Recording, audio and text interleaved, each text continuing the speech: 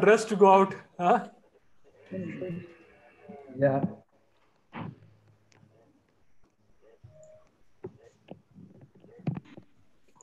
So Parag, shall I open the session today? Uh, sorry. Shall I be? Shall I open the session today? Yeah, Please. yeah. You open the Huh? session. My internet is a little unstable today, No problem. so definitely. Yeah, I'll open the session. I'll introduce both the speakers, and then we'll uh, go ahead. Then. You have some slides set up. Yeah, I've got about just uh, three slides for introduction. That's it. Okay. So Ashok, I'll just share the screen now, so that uh, Yes. it's better that we have the uh, you know the first thing showing. Sure. And you let us know, Ashok, when to go live. Okay.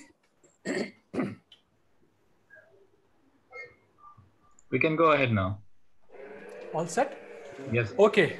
Uh, very good evening to all of you, and good afternoon, based on which part of the world you're tuning in from. And it's a great pleasure to have you all back with us for this uh, 10th PKC webinar series. So, we have uh, two excellent faculty today who are internationally renowned in the field of knee surgery, and we've specifically chosen this topic of osteotomies around the knee. The two guests that speakers that we introduced today are masters in the field of osteotomy. They have pioneered several path making techniques. They also essentially have taken osteotomy and knee preservation to a completely new level across the globe, which means that we can help our patients a lot more better. It's my great privilege to, uh, to introduce and to welcome these two great speakers. And uh, we're going to be uh, starting, we're going to be having a couple of uh, very interesting talks today. The talks essentially are going to be based on this uh, uh, osteotomy. And what we have today is uh, Dr. Professor Adrian Wilson from London. I'm just going to try to get the slides move. Ashok, can you help me get the slides move, please? I can't. Uh, Uh, just tap on the slide, sir. It will start moving. And then press ahead. I'm unfortunately I can't do that. So maybe if you unshare the screen and you can do it from your end. Yeah, it will be sure. Nice, yeah, because uh, somehow my screen has got stuck somewhere.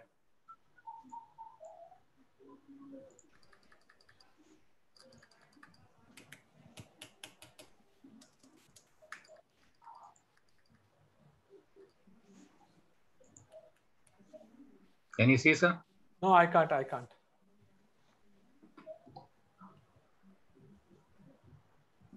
Sachin, Yes.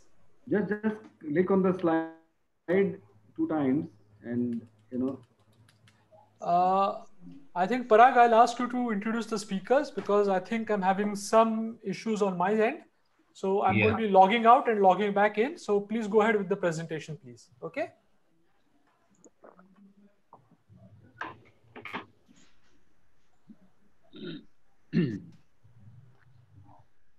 Uh,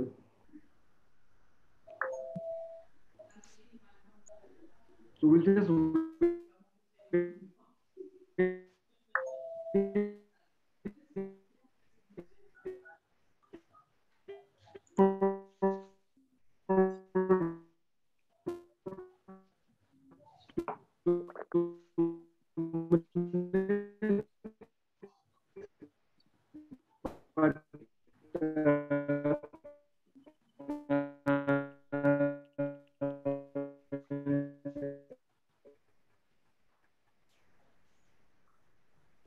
think both of them are having internet problems. quite some issues. I don't know if if uh, one can hear our voice. Yeah, we can hear you clearly. Okay, so uh, if, no, if all the, don't know how if all the, if all the audience hears our voices, I guess we we should not uh, really lose too much So, time uh, because we got some Ashok, can precious. you, Ashok, can you hear me? Yeah, I can hear you, sir. So let's start with the talk. Christian, Perfect. This is what I wanted to say. Yeah. yes, I think let's let's start with the first talk, and I'm sure by then the connectivity would be better. So, Okay, uh, let's- welcome all the viewers, and over to Dr. Christian Kay for his talk. Perfect. So I sh- I start sharing my desktop then. Yes. And uh, so, uh, first, attend. Thanks a lot for the opportunity to uh, to speak um, in front of such a crowd, um, though not uh, physically there, but virtually such an uh, amazing opportunity, really. Um, now it switched back to uh, some other screen, I guess, so I don't see my desktop anymore. You just have to put share your screen. Yeah, I did. Yeah, so that should be there. Do you see my screen now? How to plan osteotomy around the knee? No, not yet. Not yet. Not yet? Not yet. Okay, I have my screen as a screen share right now. Yeah, just a minute. So Sachin, your screen is on. Just see if you can advance, Sachin. I think Sachin sir's uh, laptop was hanged because of his issue, and uh, that's the reason why. Now he's logged in again. Yeah. Sachin, can you hear us? Yeah, I can hear you. Okay, yeah. so you want to log out, Sachin? Now uh, Christian will put up his presentation. Your slide okay. is being seen. Okay, I'll just do that. I'll you just, just leave. stop sharing. Yeah. So just tell me when okay. you see my screen. Yeah, now yeah, we, we can, can see your screen, Christian. Perfect. So once again, thanks for the opportunity to uh, to share this uh, with such a, a, great crowd of orthopedic surgeons. Topic today is uh, osteotomy about the knee. And um, Adrian and I, we are really happy to be invited to uh, to give these lectures here. So the first one is uh, is on planning. Second one will be on HTO and all the novelties uh, that are around. Third one will be on distal femoral osteotomy, and then rather uh, the finalizing thing puts it all together uh, in okay. double level osteotomy lecture.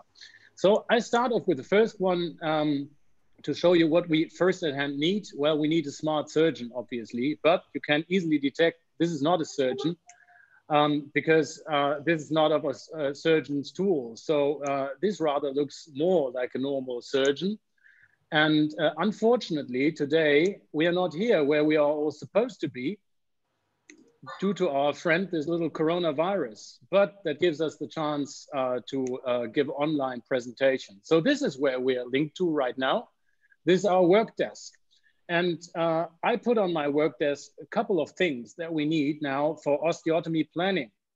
And uh, well, unfortunately, osteotomy planning is never associated with the OR directly. It's something that happens before attend because you need to have a plan in order to be equipped when you attend the surgery and you, uh, and you have to plan it uh, prior. So what you need uh, for planning is obviously an X-ray. So let's just press on that X-ray and oh, that was uh, actually not the X-ray that we pressed on. So let's go one step back.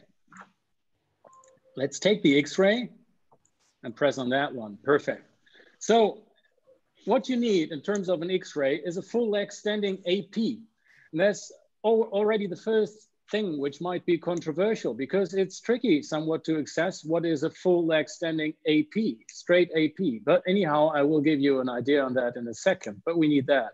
So how is it, uh, is it set up? Well, this is something of organization in between you and your radiologic department. You need to go sometimes to the radiographer to get things sorted and right.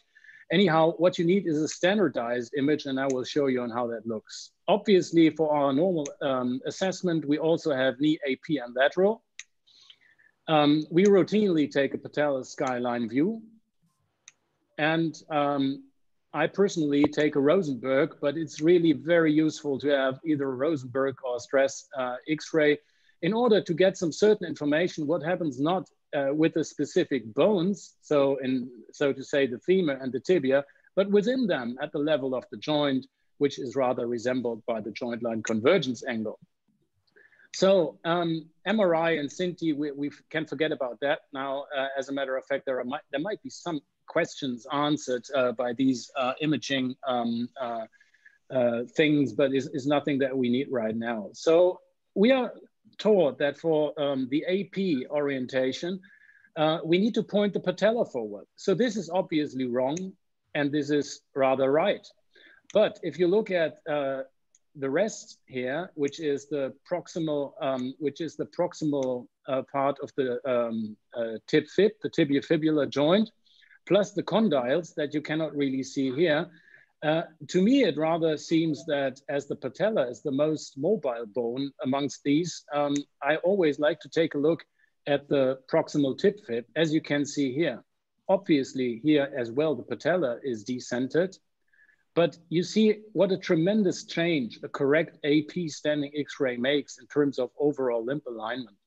So you really need to make sure that you see the proximal tib fib, so the head of the fibula, one third covered, and that you see uh, the patella pointing forward, and the condyles need to look at you straight and not as a curve, either to medial or lateral side. That's very important. So um, then let's go back to the very basics. So it was in 1878, quite a long time ago, that Johann Mikulicz wrote his thesis. And he was the first one actually to identify that not only the whole leg axis or the long leg axis, the mechanical axis pointing from the center of the femoral head to the center of the ankle joint passes the knee somewhere close to the middle.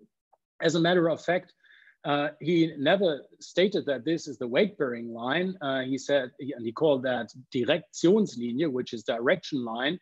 And this line, in fact, passes somewhere close to the middle, slightly rather to the medial side where uh, the medial spine is, the tip of the medial spine. But he also found out that the joint line itself uh, points uh, obliquely to the medial side. So there is a, um, there is a, a joint line obliquity with a medial proximal tibia angle of 87 and a lateral distal femur angle of 87. This is what he found out as well. So why is that now? Because when you walk and run and jump and hike and uh, you medialize your foot and you place your foot under the center of, uh, of weight uh, in order to gain balance, then all of a sudden, whilst medializing your foot, you horizontalize this um, pseudo oblique joint line. So as a matter of fact, when it really counts, when you have four times your body weight on one foot, then it's really important to have an horizontal joint line. And in normal stance, where you have an oblique joint line, actually you place 50% of your body weight on each knee. So looking at that again, you can see that here. This is the normal stance axis, and there you have a joint line obliquity, MLDFA, mechanical lateral distal femur ankle, medial proximal tibia ankle. And when you zoom in and look for the close up and place, um, place uh, the ankle joint at the center to get some balance, then you automatically horizontalize your joint line orientation. So that's very important. And um, so it, it, was it was out there for years, but actually no one really focused on uh, the joint line orientation but rather uh, the Mikulicz line was of importance when planning an osteotomy. And nowadays, we look more and more for anatomic circumstances to achieve normal biomechanics. So looking at these biomechanics, now we go uh, to the guy who gave us all the nomenclature of that. And that was Dror Paley in this masterpiece, Deformities of Osteotomy, uh, of, of Deformity Correction. So, and he defined joint centers, joint lines, and joint axes to describe the deformity, the overall deformity as far as the bone and the joint level is concerned. So let's look for the center of the hip. That's quite simple. The center of the hip, uh, radiologically seen, you, uh, you just assess a square uh, uh um, and uh, a sphere. And this sphere obviously is a circle in a 2D projection. So the center of the circle is easy to be found. And this is the center of the proximal femur. Now looking at the center of the knee, uh, at the distal femur and the proximal tibia, that becomes a little more complicated because you could choose the outer margin of the bone, you could choose the outer margin of the skin, the area in between the spines, um, whatever. But overall, you can see if you really have an AP image, then all these points are rather located centrally around one line. So in fact, it does not really matter which one you choose. I personally take uh, the roof of the notch and, the, uh, and for the tibia, um, the point in between the uh, medial and lateral spine. But anyhow, feel free, as you can see, to choose whatever you like. And for the ankle joint, I take the center of the talus. So now we define the proximal and the distal centers of uh, the femur and the tibia. The next thing would be to take a look at the joint lines. Well, looking now at the distal joint line of the femur, well, that's the connection of the medial and lateral condyle. And if you do this now for the tibia, it connects uh, the subchondral sclerosis of the proximal tibia. So now you have a joint line for the distal femur and the proximal tibia. Having that now, plus all the joint centers that you can connect, the last thing we take a look, this was the distal tibia, not too much of importance here for our uh, question right now. The next thing you need to take a look at is the axis. And there is anatomic axis and mechanical axis. And the anatomic axis is basically describing the anatomy and the mechanical axis describes the mechanic circumstances, which is at the tibia, somewhat the same, but at the femur, this is the anatomic axis of the femur and the tibia that you see here. Now, looking at uh, the mechanical axis, that connects the joint centers, proximal and distally, that we've just learned. And uh, therefore, at the tibia, that is almost parallel, and therefore it plays no role it, uh, on which one you might plan. Anyhow, we are talking about the mechanical axis. And uh, for the femur, there is difference due to the femoral neck and you always need to know that. So this is why we always indicate that we talk about the mechanical axis by stating MLDFA, mechanical lateral distal femur ankle. And we just say that for the femur because there it's of importance. For the tibia, as we learned, it's parallel. So you can leave that out. So the whole leg axis now, which is this um, line, just gives you an overall idea whether you have a varus or a valgus alignment.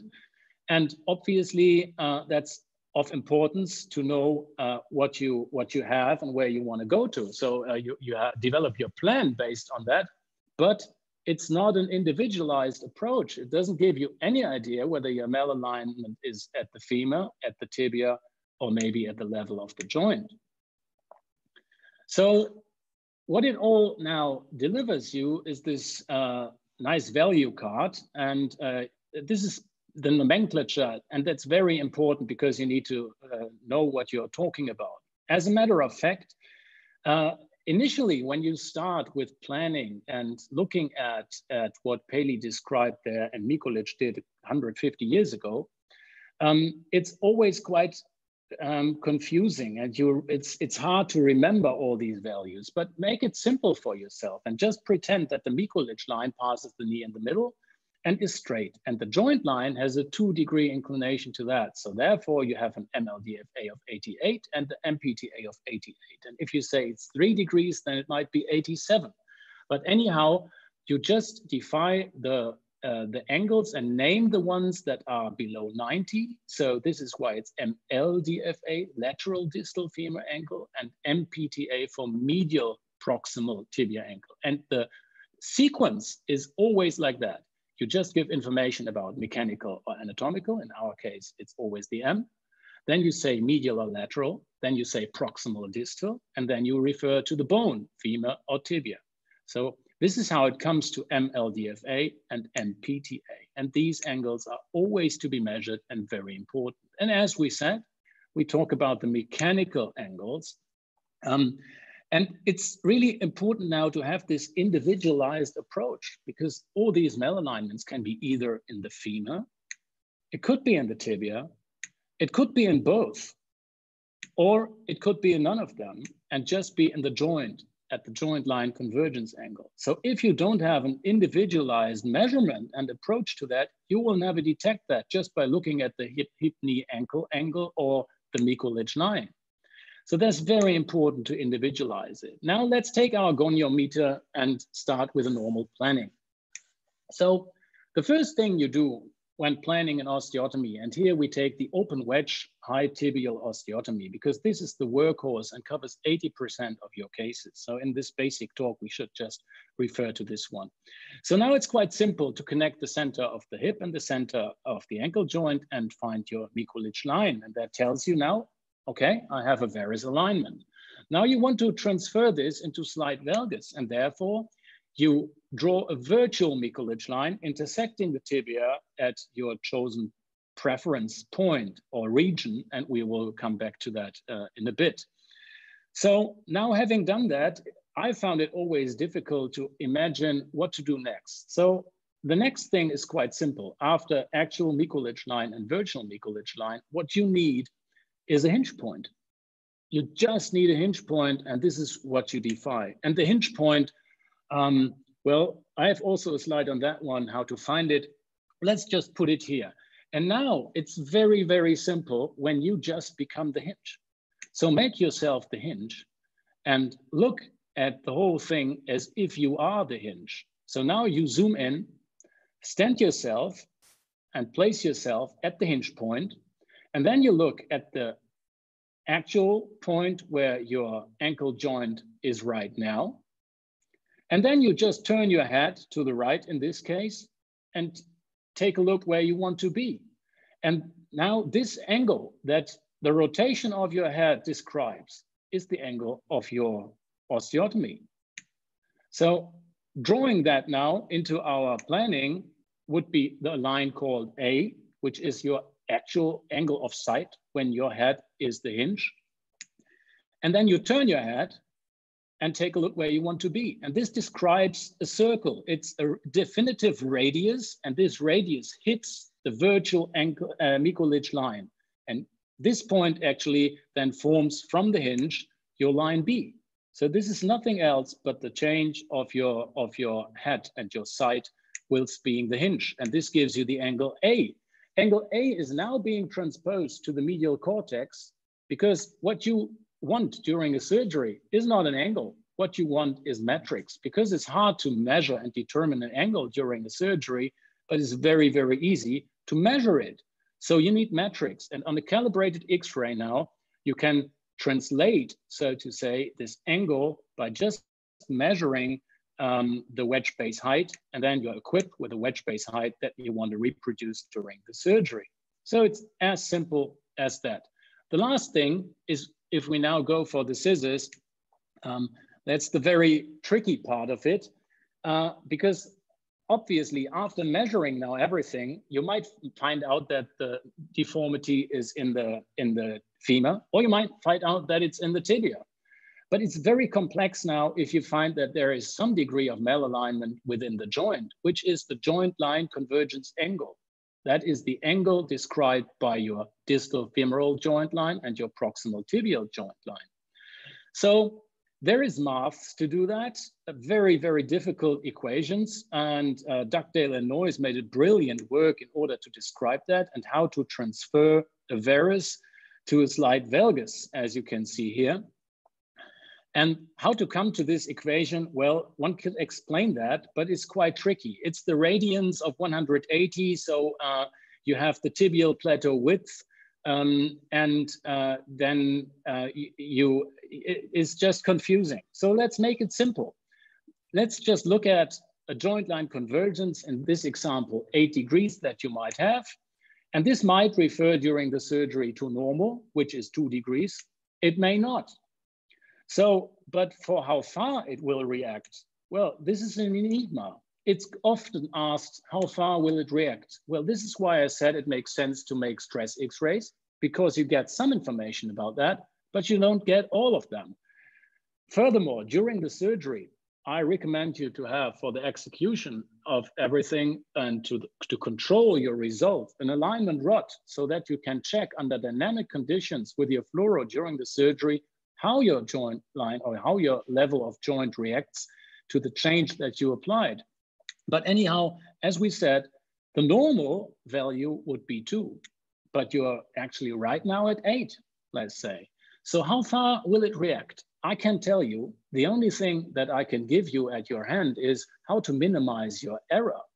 Because if you don't apply uh, this angle at all and say, well, it may not react at all, and uh, you end up at eight degrees, well, fair to go. But if it overcorrects and goes to two degrees, then you have created, and if you have not um, taken this into consideration, then you have created an overcorrection of some six degrees.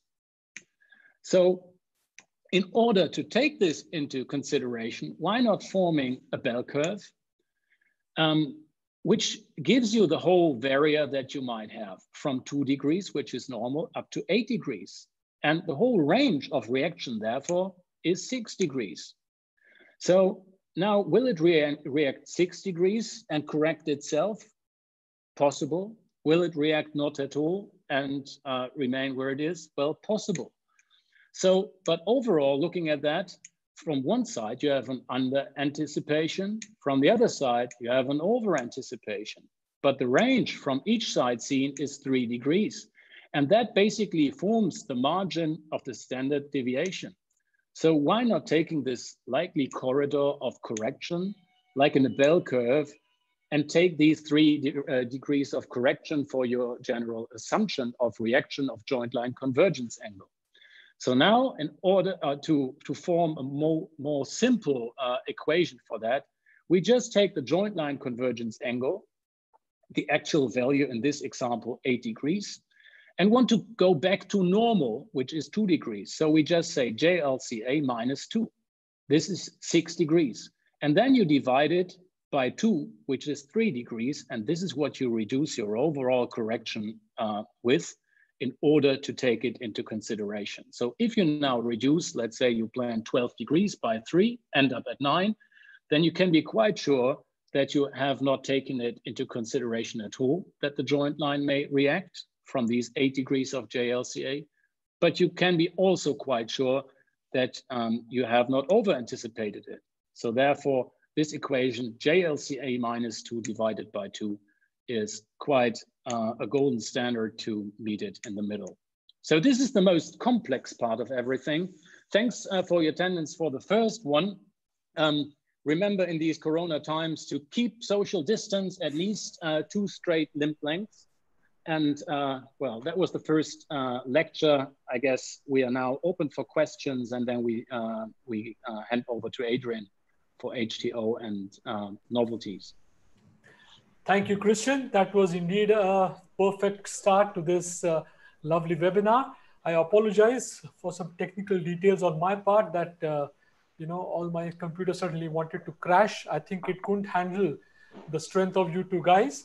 So Christian, for all you, for all those people who are there, Christian is a knee and a hip surgeon. He works out of Hanover in Germany. There's a part of this group called OrthoProfis, and he also works in London as well with the orthopedic specialist group. Um, any questions right now, uh, Parag, on this? Yes, uh, yes. There, are, there are questions. There are a few questions which have come up. So Christian, okay. excellent talk. You, you did very well. So one of the questions that's come up, you know, uh, which is quite prudent in India, is that in case you don't have the ability to do the long leg X-rays, you know, and do the angles, the MPTA, LDFA, are there any other options to plan your osteotomy? Is there a plan B? Yeah, that's tricky. I mean, obviously, obviously, uh, that's also a problem in uh, in uh, our um, region. It's not that every orthopedic surgeon has access, direct access to uh, long leg standing X-rays. But right. I would still say, I would still say that it's it's hard to give a recommendation to say, well, uh, we can we can get rid of certain uh, criteria here and just allow to uh, make it like eyeballing. You know, um, uh, I would I would say it's from my standpoint, I think it's mandatory to have a full extending X-ray. And if you okay. don't have access to it, then why don't you refer your patient to a radiologic department, which there is nearby, to uh, get some get some X-ray imaging, which is appropriate to uh, to um, to apply planning, and then you are safe to go and uh, deliver a quality for your patient which is which is satisfactory for for your patient and you yourself. Yeah. so i always thought i felt way better going into surgery when i know what i want to do and i was well equipped with my all my data and, and made a proper planning. So i feel personally planning is like almost 50% of the procedure. Yeah agreed. Uh, there's a second question uh, question uh, once you do your planning, you know, and you find out the, if the deformity is in the femur or the deformity is in the tibia. So if you find out the deformity is in the femur, do you always correct in the femur or uh, sometimes you can just get away and correct in the tibia because people find that the tibial osteotomy is slightly easier than a femoral osteotomy. So uh, any thoughts on that? Yeah, uh, well, this is exactly our learning curve, actually. So I can tell you, I, I answer this one with a little story. Because uh, in my former practice, we uh, when we started with osteotomy and made some statistics on that, we found out that we operated 99% of our patients at the tibia. And Right. obviously we did that because we had no idea on how to treat the femur. So um, the, the answer to the question is, well, of course, you cannot just apply uh, um, the, the chosen surgery uh, to, uh, to the qualification of the surgeon. It needs to fit to the patient. So uh, when we made proper analysis of the malalignments, we found that more than 20% of the overall malalignments is originated in the femur or in both. Well, 10% isolated in the femur and other, another 10% are applicable for uh, double level osteotomy. So our answer to this then was uh, to improve our technical skills for femoral osteotomy and not just to perform any other osteotomy. In other words, we, we treated 19% of our patients at the wrong bone, which is, which is a disaster. If a patient comes to you having a kidney problem and you're a liver surgeon, you just don't uh, offer liver surgery because you cannot treat kidneys. Yeah, that's a great point. I think uh, the next question, Christian, is that uh, you know when we calculate all these axes, there's a lot of confusion there with uh, you know the Miniaci method. There's a Noyes Dugdale method. So, what is the relationship between all these methods? Are they all consistent, or how do they behave? they are they are all consistent and uh, and obviously you can if you have a safe uh, i would uh, we just recommend this Miniaci method which is geometrically quite easy and it leads you quite logically through a process of planning. Anyhow if you have great experience with Dugdale Noyes planning and if this is your workhorse Okay, so- and you have good results on that I would recommend you stick to your planning method because it's it's uh, whatever a surgeon feels safe with is safe for the patient, I guess. And uh, it's not it's not wrong. It's geometrically right to do this planning like that. Um, it's it's not not just our approach that we that we have. So uh, in fact, it was Miniaci in the work group of Rolli Jakob who described that. And Rolli Jakob, our good friend from Switzerland, was always very uh, very ambitious about osteotomy, and I think he had a great approach here in, this, in how to describe planning and this Miniaci planning of an osteotomy. Okay, Christian, there's one more question. And Sachin, by the time he answers the question, do you want to set up your slides to introduce and then we will Yeah. go on with the talk? So, I'll So just I'm get going Ashok to- to set it up for us. Yeah. So I'm just Yeah. going to ask this question, uh, Christian. The question is that in cases of tibial metaphyseal varus, the mechanical axis is different than the anatomical axis for tibia. So which angle should be taken, the MPTA or anything else? This question is from Dr. Nikunj Agarwal. Well, you take um, you take the uh, MPTA obviously, and if there is a difference in the angle, then you take the mechanical values. We plan on mechanical angles, and I just um, made a made a well generalization. Well, these are always wrong, but for a basic talk, maybe explaining enough. So obviously, there might be cases where the anatomical axis and the mechanical axis of the tibia are different. Well, if you have a shaft fracture or any other uh, like Crokitis um, uh, disease or whatever, then you might have two, um, you may have two uh, uh, anatomical axes of the tibia with a big curvation in the center of it, which gives you a cora. And then you have a center of rotation of angulation in the middle of the tibia shaft, which leaves you uh, up with a different concept of correction. Okay. So this might be something for a, a shaft correction with a nail. But anyhow, um, Right, this is not right. this is not really applicable for uh, for osteotomies about the knee. We are referring to osteotomies about the knee here, and these are uh, rather kind of not part of this Cora concept because the more you go into the puristic Cora concept, anatomy around the knee drags you away from that. So the more Yeah. you go closer to the knee, the lesser you can apply the Cora concept because sometimes uh, there is simply no cut possible due to anatomic circumstances. Okay, thanks, thanks, Christian. Thank so you, Christian. Move on. So, Sachin, uh, can you uh, quickly introduce uh, Dr. Christian formally? Yeah. And then we move on uh, uh, with the talks. Yeah, thank you so much. And uh, so the master that you hear you just heard was none other than Dr. Christian Clay. The next speaker up is going to be Professor Adrian Wilson. He's a leader member of the ESSKA Arthroscopy Society and the ESSKA Osteotomy Society as well. So uh, Adrian is no stranger to India. He's been in India on a couple of occasions, and he's very happy to be we're very happy to have him with us and share his expertise on how do you make osteotomies safe. So Adrian, over to you, please. Thank you very much, Sachin. Um, I'm just going to see if I can make technology work. Uh, there we go. Tell me if you can see my screen. How's that looking? Perfect. Perfect. Okay, great. Yeah, I mean, I, I mean, it's uh, interesting times, isn't it? Uh, um, I'm a little bit coffee myself at the moment. I had the coronavirus, and um, you know, it's a it's a very very difficult situation. But I think it's amazing that you've been able to put this on, Parag and Sachin, uh, to put together all these people um, and doing these wonderful webinars. And I'm just very honoured um, to be joining uh, with you, and also with my good friend Christian, who who I speak to on a daily basis. So I was going to cover surgical technique.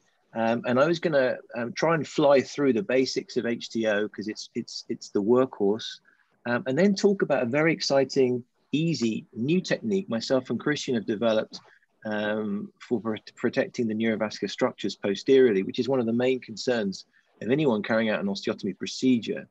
Um, we're also wanting our patients to have a safe procedure, one that they can rehabilitate on quickly. And a real concern for us is the hinge. And we've come up uh, with this new idea uh, for a hinge screw, and I'm going to talk a little bit about that. So there's a lot of educational videos online. Uh, our HTO video I did with Neil Thomas uh, many years ago now, and it's it is outdated, but it's it still takes you through the basics quite nicely. And I, I, I'd advise anyone interested in doing osteotomy surgery to take a look at at this video because um, although it is slightly outdated, I think it's a very nice step-by-step -step, um, presentation. Also, obviously on VuMedi and the other forums, there are uh, good videos to work off. So very importantly is the setup. Um, here we see a patient supine with a side support footrest, but look at the look at the leg here contralaterally. It's actually out of the way. It, the, the table's been broken, and that allows us to come in from the opposite side uh, to operate on the affected leg. So here, right knee, we'd be operating from the left side. Uh, we'd have the C arm coming in from this side. Um, and this really helps you, this little trick of putting the leg out of the way. The tools are actually very simple. You need some sort of periosteal elevator that's curved. You need uh, radiolucent blunt Hohmanns. Uh, you need some laminar spreaders and you need some osteotomes. This is a fantastic um, device from uh, Stryker. Um, it's, a, it's called their precision saw blade. Um, and um, here we can see, oh, my video is not running very well. That doesn't bode well. There's a lot of videos. Um, and it's, it's basically a saw that has a limited excursion at its tip. And we, we found this a very useful tool in osteotomy surgery because um, you're, you're much more confident with that limited excursion. You can even use your finger posteriorly as a retractor as you go underneath, particularly the femur. And we think this is an essential bit of kit. So um, if we look historically at how osteotomies were carried out, um, Carl Nissen, when, when Neil Thomas was in Stanmore training uh, in, the, in the 60s, Nissen just used to use an osteotome through the skin, didn't even make an incision. And here you can see a very extensile approach on the right uh, with a Tomofix plate in. And we've really moved away from this. Uh, originally, we went to an oblique and then to, to back to a longitudinal using a, an MIS technique. The, uh, the landmarks for osteotomy surgery can be seen in this uh, video it runs, just about. So we can see the joint line, just click it along. I've marked out the pes. I'm three fingers below the pes. You can see the posterior cortex is marked at the back there. And you can see the front, the tibial tubercle. And we want to be three centimeters below the joint line, slightly posterior, just extending beyond the pes. And that's my incision, which is approximately four centimeters in length. So if we then look at what we do very importantly with the MCL, this is something that we whoops, let me get rid of that. We constantly get asked, what do we do with the MCL? So here we can see the road bumps uh, of the pes anserinus. We open that up and release the pes uh, rather than cut it. And then we can take this flap uh, here uh, and we can then elevate that flap, which is the leading into the superficial MCL. And you want to get a, a, a very full release of the superficial MCL. Otherwise, you can cause more trouble uh, than you uh, than, than actually cure uh, by actually tightening the, the medial side of the knee. And Agneskirchner's experiment showed that very nicely. Here you can see us identifying the patella tendon at the front. So now we're completely protected front and back, and we've released the MCL. This is a beautiful picture of Christian's an artist, and uh, he's done this lovely picture, and it's it's a it's a very nice way of thinking about the start point and the finish point for your for your shooting of K wire to the hinge. And you want to imagine the fibula head as a as wearing a little hat, and you want to shoot the tip of the hat from the head. Um, and we want to be roughly between five and 10 millimeters in terms of where the saw blade stops from the lateral cortex. So if we then look at the, at the uh, guide wire position, you can see I'm slightly flat here, but I'm heading to a nice position uh, on the uh, top of the, uh, of the fibula. Um, and then I'm gonna place my second K-wire parallel. Now it's very important that this is done in the uh, the knee is flexed the point that this is done in line with the with the knee joint. So you want here, I'm actually not quite flexed enough. You want to flex the knee and you want to see perfectly through the knee so that your two wires are in the plane of the joint line. And then you can see us making our, um, our cut. And we do this in the standard way, as you can see, to, as I say, five to 10 millimeters. We then uh, use Staubli's concept of the biplane. Here you can see that the initial cut has been made. And you can see that I've stopped uh, four fifths uh, just below, there's a ridge just below here on the tibia where we stop. And then I want to come up at an angle of 110 degrees with my saw. We rotate the foot slightly away to do this. We always visualize uh, the frontal plane of the tibia and have that in mind all the time as we then make this second biplane cut. And then we want to make sure that the osteotomy is mobile. Um, so we have to insert osteotomes. Now, it's very important that you don't thump these in with the mallet. You want the, osteo you want the osteotomy to be mobile enough that these basically can be put in by hand. That's really important because otherwise you can end up with hinge fractures and other issues. So we now are very much want to see this almost before we place the osteotomes. We really want to free up um, the um, osteotomy. If we then look once more at uh, how mobile, this is how mobile we want the osteotomy to be so that we can thumb in the osteotomes and not tap them in with too hard with a mallet. Now the gap that we create wants to be trapezoidal, slightly bigger at the back, slightly more uh, smaller at the front. And that's because of the shape of the tibia. The tibia is longer at the back than it is at the front. So we want to maintain an even opening. We want to have this gap slightly smaller than this gap, and the gap needs to be trapezoidal. Now, one uh, little technique that we developed uh, because we went MIS was to insert two wires either side of the osteotomy and use those rather than, lam- rather than place the laminar spreader inside the osteotomy. We used the wires to actually open the osteotomy. And it's just a nice technique. Here you can see we were making a video here and I failed a little with my cosmesis. This is a very small incision, um, but this was a full length video and it was just to show, um, just to show how we do that. So what about placing a bone wedge? Now you don't need to place a bone wedge. Um, uh, Staubli showed with the Tomofix plate 21 millimeters of opening with no problem with healing, but there are some distinct advantages with placing a bone wedge. It helps you be less invasive. It helps you to control and maintain the slope, either change it or maintain it uh, by, by cutting the bone wedge to the shape that you want. There's no need for a laminar spreader once you've inserted the bone wedge. The operation is done, and then you can apply the plate, and it makes, uh, makes plate positioning much, much easier and it, it definitely causes less bleeding, less swelling, and earlier rehabilitation um, in the patients that receive a bone wedge. And we've, we've um, published on that. And we can use smaller plates and we can get back to activity more quickly. And we see rapid union at three months in approximately 50% of the patients. The other 50%, the bone wedge just dies away, and then you just see a classic um, healing. Here we can see how we prepare the bone wedge. We're just taking the top of the femoral head off and then we literally cut cut the wedge with the saw according to what we want. Um, and it's really quite easy to do. And again, with this saw, with a little bit of experience, it becomes very safe. And then in terms of placing it, um, we just tap the bone wedge in, the laminar spreaders are either side of the wires, the wedge is in, then we can release the laminar spreader and we have complete control of the osteotomy. Now we can place our plate. So we've got first generation angle stable Puddu plates, second generation Tomofix, third generation now, our preferred plates, the Newclip ActivMotion plates, type one and type two. And this is what our go-to plate is now for both tibial and femoral osteotomy.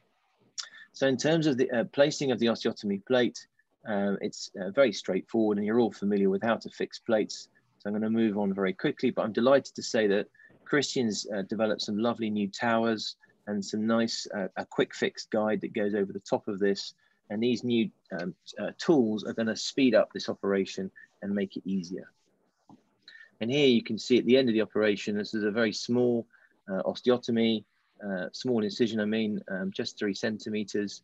Uh, and when, you know, when you've done enough, you can start to make incisions like this, but you really need to be um, quite experienced. We always use some form of cryotherapy, and here you can see Physiolab, which everyone gets at the end of the procedure. And again, I think this really uh, is a game changer for these patients in terms of reducing that initial swelling that they can get, which gives them almost like a pseudo compartment syndrome that, that we used to see with our tibial osteotomies, which were painful. So what are the three main concerns with uh, HTO surgery? The first is, what the hell do I do with the MCL? I brushed over it a bit because I want to show you our new technique. The second concern is neurovascular injury. And even in experienced hands, we see reports of the vessels being damaged um, in the UK and abroad. Whenever you do a big meeting, you say, hands up who's seen a neurovascular injury, there's always a fair show of hands. And this is something that everyone worries about. Um, and it's something that we think we've, we've nailed with our uh, new technique. And then how can we protect the hinge? And I'm going to talk to you about our new concept, the hinge screw. So vascular complications are, as I say, something that we're very worried about. Dietrich uh, often gives this talk um, at our course, uh, Dietrich Pape from Luxembourg. Um, and uh, we've learned over the years to become more aware of the anatomy around the knee, and particularly the, the uh, relationship of the aberrant branch of the tibial artery, the anterior tibial artery, in relationship to the popliteus. And I'll show you that in a second.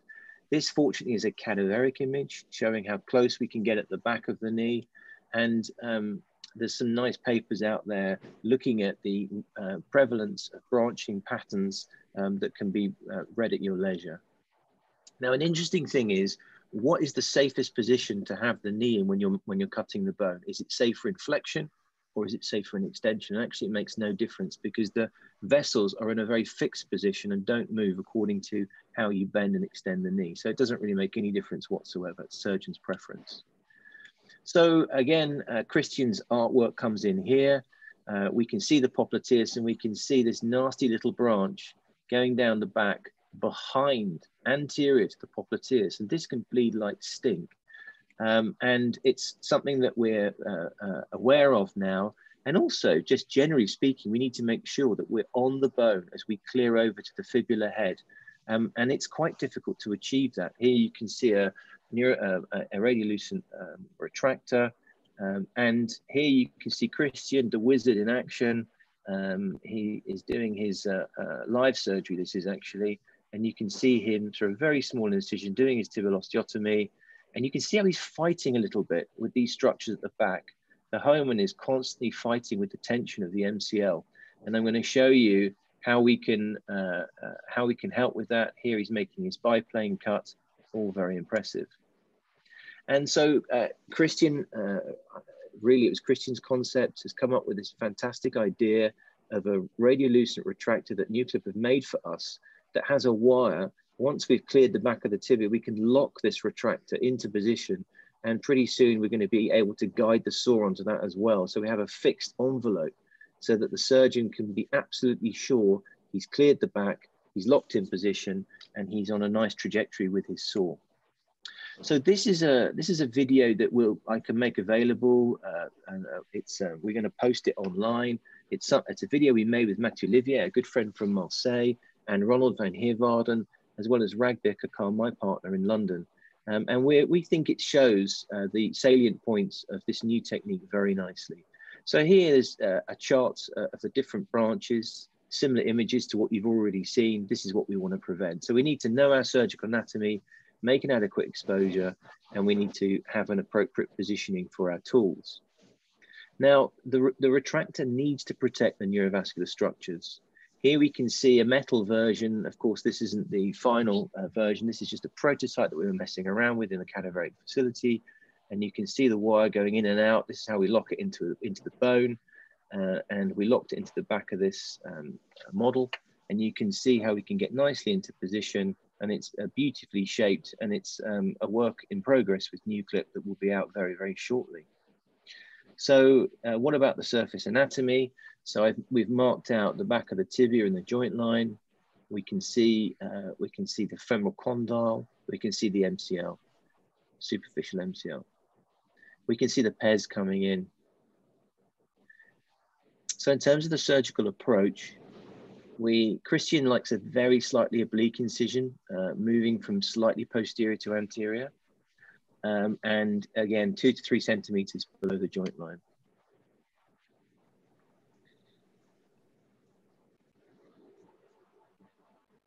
So what we did in the what we did in this uh, video is, which isn't playing very well,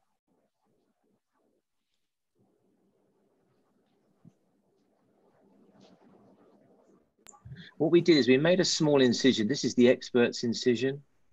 And then what we're going to do is open it up so we can actually see what's going on and have a look at the anatomy.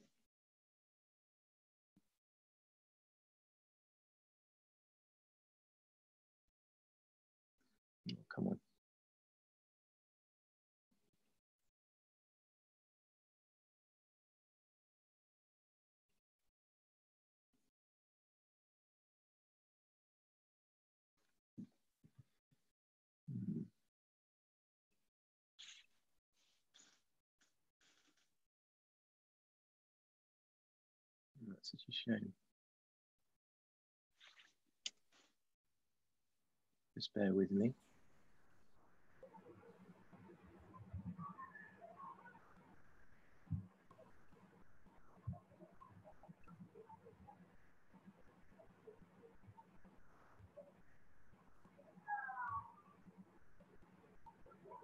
Hmm, I might have to move on. Just tell me when I maybe I can. Uh, I have to present it from my computer. I have the same video here. Obviously, we can do this. Okay. Um, why don't we show that at the end, Christian? Shall I finish right, off and then right. Pres finish off, finish off, and then I show it from my side here. Let me just see. It might play. It's thinking about it. It's five minutes long, and it's. Uh, I wanted to jump through it anyway, but Okay, we'll see if we can get you to. Uh, yeah, to, um, finish finish it, okay. and then we. Uh, so um, with the hinge screw, this is uh, again uh, something that we're all concerned about is protecting the hinge. Um, we know about where we should be heading for. We've already covered that. Um, and if we look back at what we did in the, in the early years with um, uh, staples and uh, before we had angle stable plates, I think my I think my Zoom is failing me. There we go. We can see these uh, staples that didn't really, sorry guys, it's uh, struggling a bit.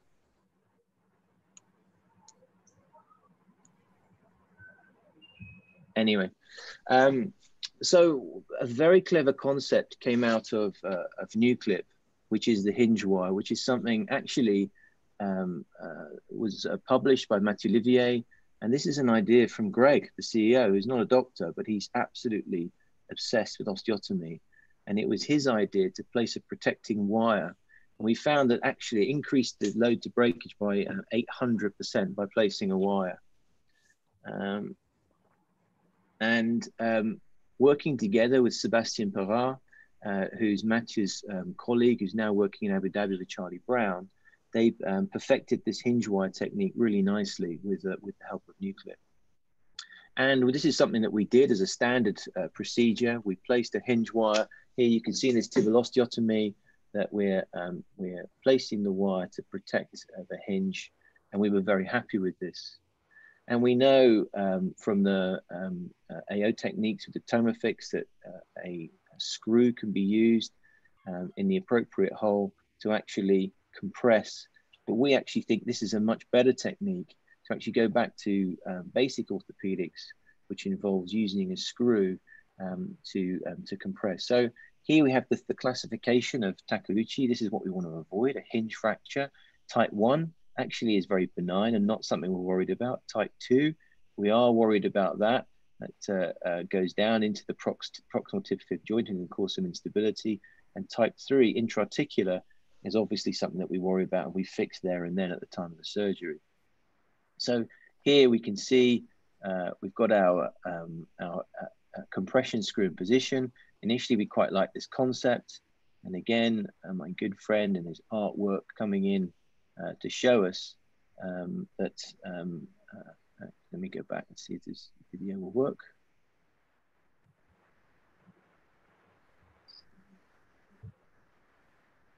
To show us uh, how we can get direct compression of the hinge, which is something that we were really interested in and something that we're now working on with Mathieu as a, a, biomechanical experiment in Marseille, and something that we've started to do in our clinical practice, and we're already seeing um, a really positive result from from that. Um, I'll just let this run. It's not showing. Okay. So here we're on a sawbone. Uh, this is at one of our courses, and you can see uh, Christian in action. I'm the cameraman. Uh, and we are just showing how on the sawbone we can open, we can open, we can open, and then eventually the hinge goes. Uh, the biplane uh, maintaining a reasonably good position there. And then as Christian um, opens it up, um, you'll see the hinge go. And here we see there's a loud crack. And now there it goes. So the hinge is gone. So the idea was how can we how can we protect that? So we then went into the cadaveric lab and we placed um, uh, we placed a screw directly across the hinge. Um, and we're eyeballing this obviously. We used some fluoro. This is in Matt Dawson's lab, so we had a fluoro available and we drilled and we placed and then we, we looked to see what we could achieve when we went to open up the osteotomy and it was really quite impressive what we could achieve in on this very soft cadaveric bone once the screw was in position. Um, and you can see it here on the fluoro. Screws in position, and we're ready to go with our opening. And then we tested the opening, and you can see we get some fun. This is cadaveric bone, so this is really unusual uh, that we can open this so much without the hinge breaking. And we were very impressed with this when we did the experiment. Here you can see a massive opening. So let's look at a few cases. Here is a, a distal femoral osteotomy, minimally invasive, a small incision, two, two wires converging in the standard way. We've got our Newclip plate in position, locked on, and we can see our hinge wire, guide wire for the screw coming in here. And we're just doing that. Literally, we're eyeballing that. We are in the process of developing jigs, but this, you know, placing one of these in the center of the bone is actually relatively easy to do. Just have to find the edge of the bone. You can see the guide wire has gone down the hinge wires, uh, uh, which we placed initially. And then we check on the lateral view and we can see uh, that the um, uh, we get a very nice position. We've moved from slightly front to back, so we know we're in the middle of the bone, um, and we've placed our hinge wire. And then uh, we come to actually fix, and here you can see, and we just advance. Uh, this is an Acumed. you can use any of the um, differential pitch screws to achieve fixation here's the case, here's the screw, and then we see this is the patient. This is less than this is less than a day. We did the surgery at four o'clock in the afternoon. This is in the morning on the ward round, myself and Christian, doing these surgeries together now in London. And you can see how this guy who's had a distal femoral osteotomy, he's taking weight. And when he when he advances and walks towards me, I ask him, I say, How much pain are you in? It's always an important question on the ward round. And he looks me in the eye and says, I've got absolutely no pain whatsoever.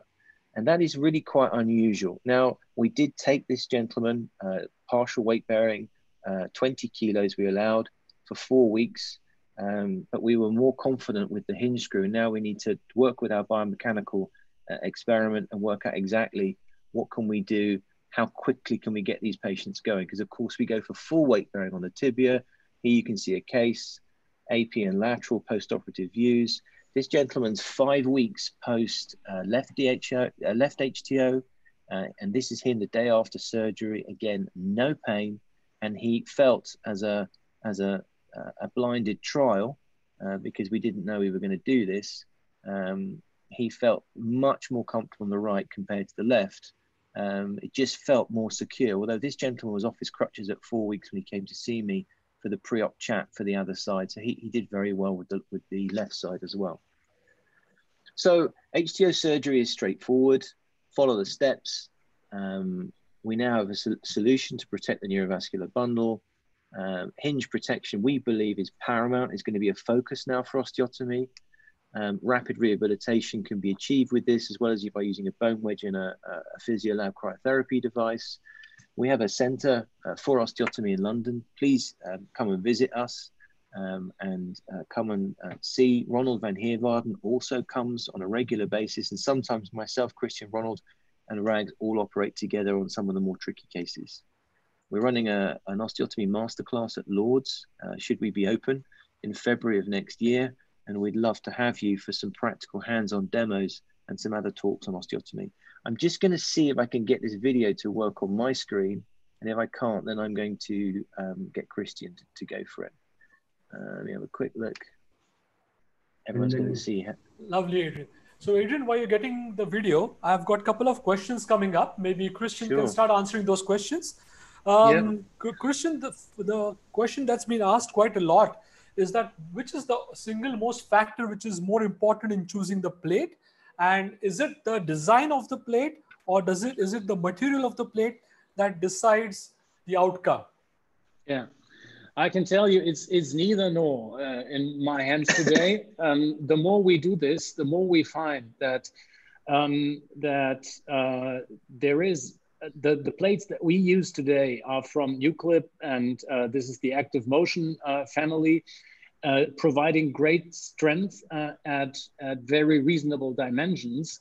But uh, what is also very, very important is the technique. And as we learned to secure our hinges with these hinge screws over the last couple of months, more and more, we found that the patients are very, very happy with a kind of a double fixation, which is not um, uh, visualizable from out from the outer. So you don't have a different approach for that. You just make a little step incision in some of the cases. Sometimes you can just go through your normal approaches. So um, this is why I like to have rather a small plate and uh, because it's it's less disturbing for the patient at the end. Yeah, but, and but so this, Christian, it, it, it was uh, it, when they did the biomechanical testing, it, it, it kind of outperformed all of the others despite its small size. Absolutely, absolutely. So, so this is why I say uh, what is more important is it material? Is it what? Well, it's it's the plate today that we have. We have. Uh, these um, these Newclip plates that were tested on the same testing module uh, against Tomofix, which, which was always the golden standard plate.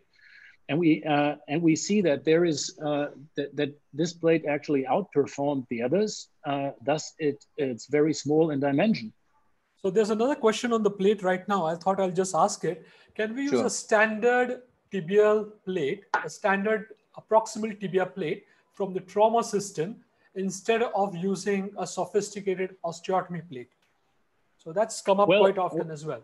Yeah, yeah. One could, of course, one can do lots of things, but these these plates are specially uh, calculated. So I guess it was uh, really um, it, it, was was a great uh, challenge back then, and it was really great work that was mastered by AO and introducing these uh, these Tomofix plates according the ideas of Alex Staubli because they were really designed to be specific plates for proximal uh, um, tibial osteotomies. And um, and what, well, what's what, what what's interesting, um, uh, Sachin, is that even if you use a design plate that places the screw strategically in the top of the tibia, if you don't use it properly, you see uh, you see fracture, you see failure. So, for right. instance, take the workhorse uh, Tomofix. If you don't compress, if you don't swap out your compression screw for a, a, a locking screw, you are quite likely to see failure at hole D. And uh, that's how the most common failure type, even in the sophisticated plate. Um, so I think they do need to be dedicated. I think you're asking an awful lot of the plate. Um, uh, and uh, it's the geometry of not only the plate, but also uh, where the screws are differentially being positioned proximally and distally that is um, um, key. Uh, uh, yeah. I, I, so that would be my answer. So I think that's very important because you want those screws to really go and you know act like a trampoline to support the osteotomy, which is very critical. Uh, there are another couple of questions which are coming on the MCL. Um, let me just let me just show this quickly, Tash. I'm okay, going to whiz through lovely. it. It's a, okay. it's a. Uh, let me see if it works. Is it? Can you okay. see it? Yeah. Okay. Yeah, can you play it through? Yes. Yeah. So it's going to get to where we were. It seems to be running now. Yeah. Okay. So um, the um,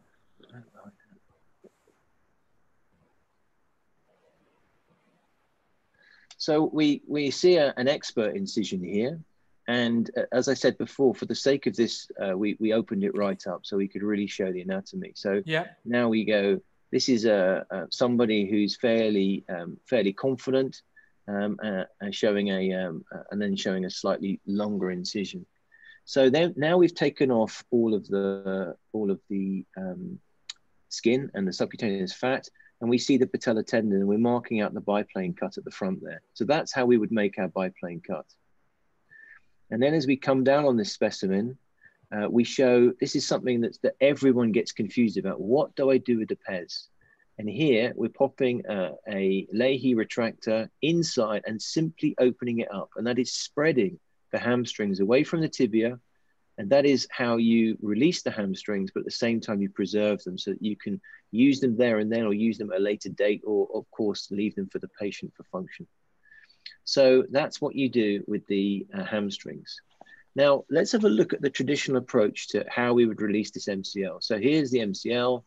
And normally what we would do is we would come in from the front and we would, uh, we would start to dissect down the back and we would release it a little bit like we do in a TKR, scratching the periosteum to release the MCL. And that would give us access to the back of the tibia. But look at the angle. Look at how we're fighting with the soft tissues to get round the corner. And of course, we want to place our retractor ideally from low to high so that we're not fighting these soft tissues. So it was Christian who came up with this brilliant idea. And like all things, it's a, it's a very simple one. Without doing anything to the MCL, we're, we're making an incision on the back of the tibia, just at the back of the MCL. Now we can scratch all the way up. We haven't done anything to the MCL, it's not released, but we can scratch in a much more appropriate way from low to high, all the way across the fibula head. We know we've released absolutely everything. Then we can place our retractor, we can lock that into position. And now we know as long as we're over that retractor, there's no way we can damage the neurovascular bundle. So we've gone from the back. Now we release the MCL. So you see how we come down, we work on the MCL and we release it to a point where we're happy. And when the tension is appropriate and the tension needs to be fairly minimal, we place a second retractor and we tense down the MCL in a more traditional way to how you're all used to doing your osteotomies. And now we can cut the bone. And as long as we stay on top of that retractor, there is no way you can cut the neurovascular bundle. And we think this is a very simple, uh, but very, very useful way of preventing neurovascular injury in osteotomy surgery.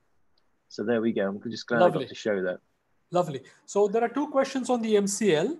The first sure. is that when we expose the proximal tibia, if we see any osteophytes, uh, you know, which are sort of popping out from the medial joint line on the tibia, should we release yeah. them? That's one.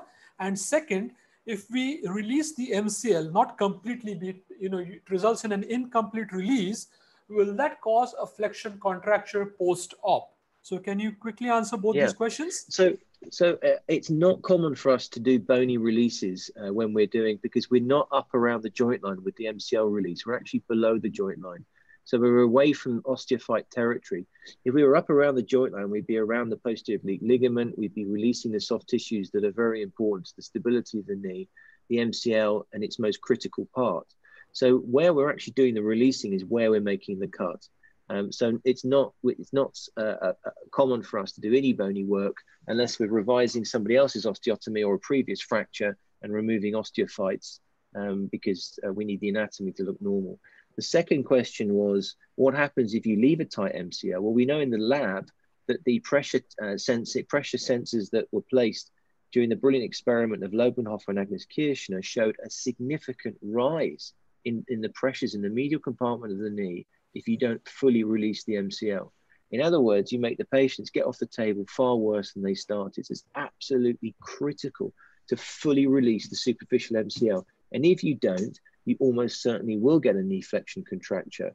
Now, if you if you start off with a knee flexion contracture, which is common in these patients, we can easily get with an average osteotomy of eight to nine millimeters, which is our average size, we can easily get rid of 10 to 15 degrees of fixed flexion by releasing the soft tissues and releasing the MCL um, in, in the way that we, we've just shown in the videos. So it's a very powerful tool for getting the leg straight um, in the sagittal plane. Okay, so one last question before we pop off to uh, Christian's talk on the femoral osteotomy, and it concerns the hinge screw. There are two questions on the same. Uh, the question is that is a hinge screw better than a hinge wire? That's one. And second is that should we tighten or you know fix the screw first before we perform the osteotomy, or should we leave a wire in, make the osteotomy, open it, fix it, and then pass a screw?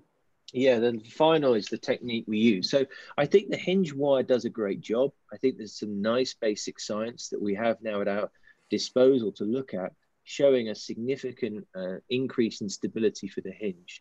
Um, so we use the hinge wire technique, but we then swap the hinge wire once we've performed the osteotomy. We then swap the hinge wire for a guide wire, and then we place the screw, and that gives us ongoing stability of the hinge once the patient gets off the table. So we're getting double fixation, we're getting lateral fixation, and we're getting medial fixation. And we think this is going to be a game changer. Okay, perfect. So Christian, you happy to jump into your talk now? I am. Yeah. So. Uh, yeah, I yeah, need to share my screen. Wait yes, a second. Please. Yeah, thanks, Adrian. That was great, actually, and good that the video worked so that we could show uh, what it's about to um, to protect the neurovascular bundle and, and um, showing all these novel techniques. Okay, um, so the next one is on distal femoral osteotomy. Um, as we now learned uh, that there is a standard workhorse of osteotomy, which is the HTO. Obviously, as we mentioned right from the start, there are 20% of these malalignments originated at the femur. So we need to somewhat take a look at this bone and uh, make ourselves familiar uh, with osteotomy uh, about the distal femur. Um, because as a matter of fact, as I said, we made our own calculations in Hanover based on the data from 2014, and we found that amongst our almost 350 osteotomies, 20% of them had femoral uh, deformities.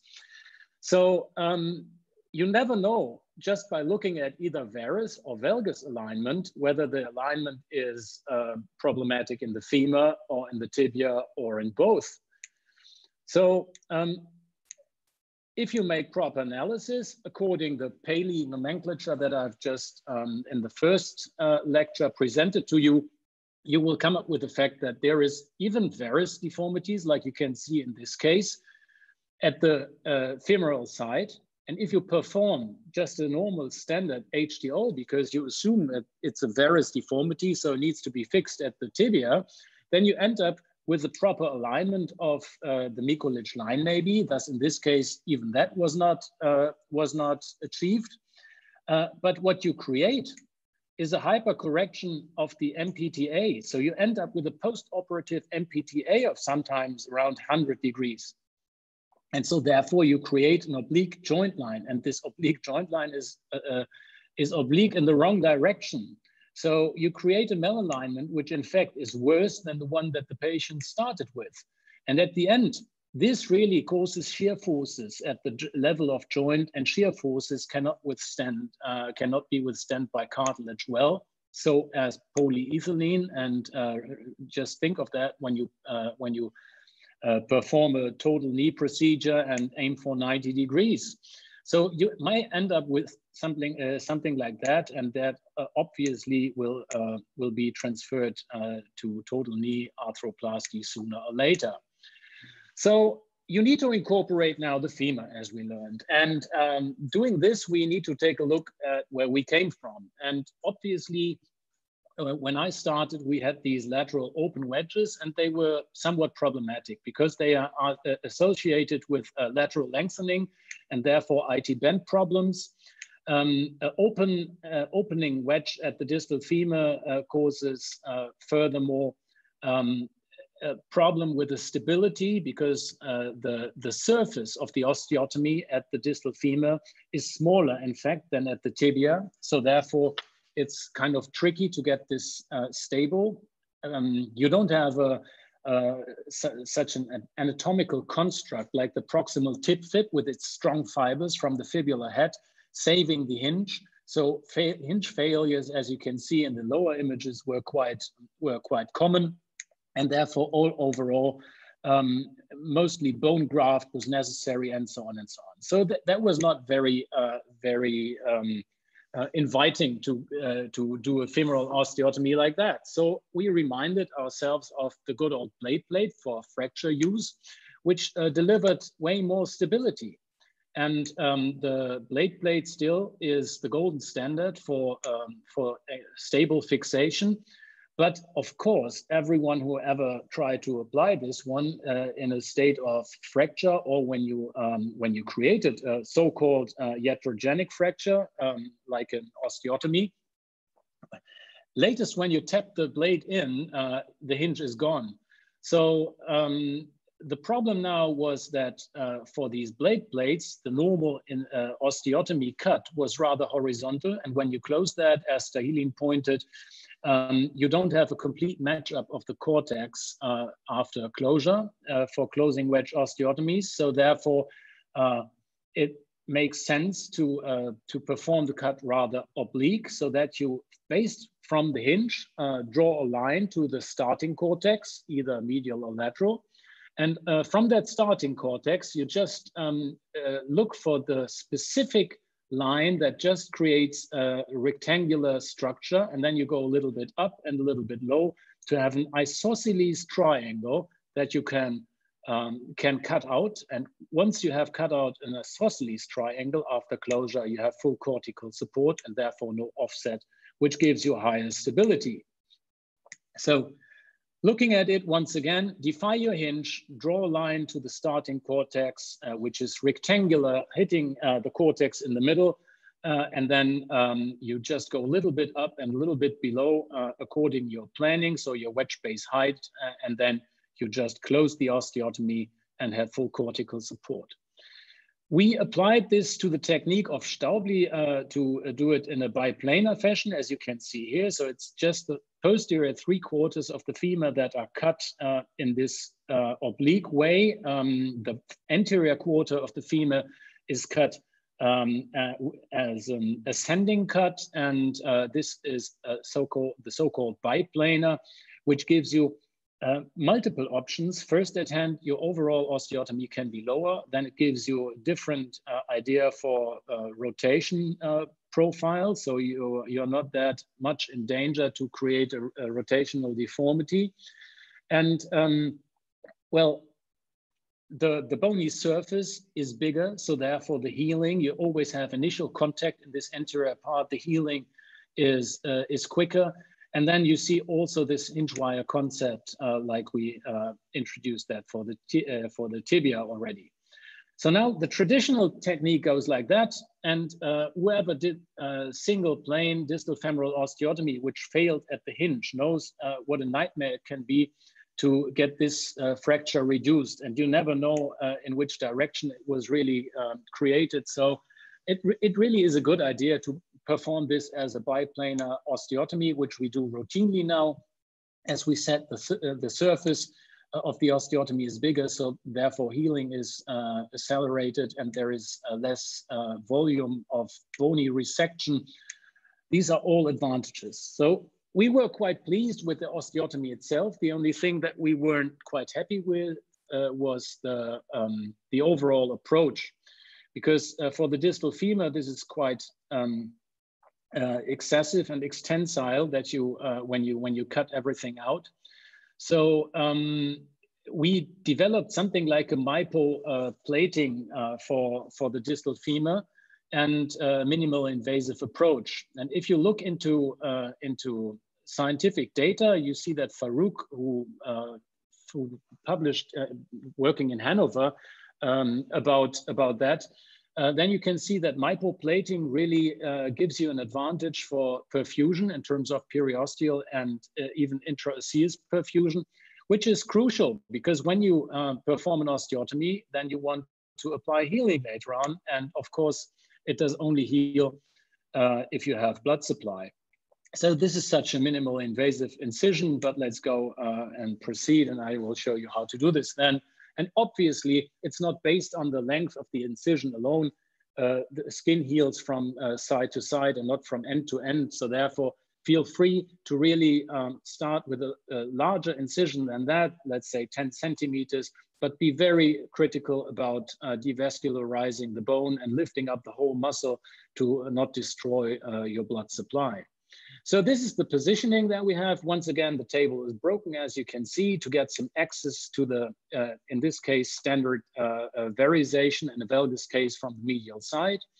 You make your approach, lift up the uh, vastus medialis after incising the fascia of the vastus medialis, and then you come to the uh, intermuscular septum, which you uh, incise or cauterize to get some access to the posterior part of the femur and just like we have shown you in the tibia, you surround it with a, a periosteal elevator and free the complete uh, posterior surrounding of the femur and put in some either Hohmann or in my case, I just use with this precision saw from Stryker my finger to prevent uh, me from cutting into the uh, popliteal artery, which is really very, very close. So I rather cut into my finger than into the patient's artery. But in fact, as this uh, saw is really just moving at the very tip, it's quite safe uh, to, to place your glove even beside this moving uh, saw tip. And uh, therefore you have a quite safe um, option to cut it. Now, when you cut it, you need to be very sure that the posterior part of the femur looks uh, or is a little bit kidney shaped. Knowing that, uh, when you now uh, draw your, um, your wedge and uh, think of this wedge that you have cut out, you need to make sure, I don't know, it's just half of that, the, the important part is missing. Let me point my cursor here. You need to make sure that you cut the contralateral part of the arcuate uh, line. If you don't do that, it always remains as an obstacle for closure when you do closed wedge distal femoral osteotomies. And this is then the hypomochlion uh, over which your hinge may break if you have not cut this specific area completely. So um, let's go uh, a couple of steps further. Uh, these are just the images out of our publication that we uh, published in the uh, uh, Orthopedic Technique journal. Um, this is the planning just like for the HTO, obviously for the femur, uh, the same applies. You need to uh, make a proper planning to check where the malalignment is. In this case, you see an MLDFA of 83 degrees and the planning transfers that to 89. So this is just uh, bringing it to complete normal means. And here you see such a live surgery. I guess it makes sense to mute it. Hopefully it's muted right now. Can someone give me feedback if it's muted? I just see my video yes, it here. Is muted. It is muted. So now this is the incision of uh, the um, of the vastus medialis, and uh, you lift up the uh, the fascia. So you just incise the fascia and move around with some uh, retractor or with your finger just to lift it up in a blunt manner and once you lifted it up, there is three vessels on the medial side. We call them the three sisters. And this is mostly the level uh, of osteotomy. So this is where I then uh, cauterize uh, the intermuscular septum to gain some access to the back. And once you have access to the back, you just take your finger, stick it in and free all the posterior surrounding. And you really can touch the complete back of the femur with your finger up to the contralateral side and, uh, and make a rendezvous maneuver at the other side. So now I just define the level of osteotomy. And for a closed wedge, obviously there is two K wires. fire 4K wires to, um, to defy uh, the, the slope orientation because I found it very, uh, very complicated to fire 4K wires at a time uh, which just give you an orientation and, and, uh, and getting the parallelity done is very complex. So I like to just measure like this. Then I, under fluoroscopic control, take my saw and make an initial cortical cut just for half a centimeter, let's say. And once you apply this one, due to, uh, due to this cut, you cannot really move your saw anymore uh, to either direction. So then your cut is fixed and just runs like on rails all the way along on the fluoroscopic control on this 1K wire that you have shot and placed. And this is uh, what you reproduce on the other side. Well, so for the other K wire, it's the same technique. And then you cut out your, uh, you cut out your wedge and uh, remove it. And remember, you do this in the posterior three quarters of the femur. So the first cut has been made. Now this is the second cut, as you see. And you just do this in the posterior three quarters of the femur.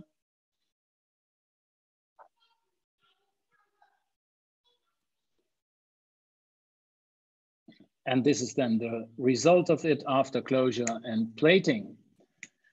So there is very sophisticated tools, as we said, and Adrian pointed out that the throw of the saw blade is completely different if you use such a, a saw like the Stryker Precision Saw. This is uh, uh, basically, uh, here you can see that I place my finger uh, to work as a retractor and you don't have to fear that actually gives you really great safety.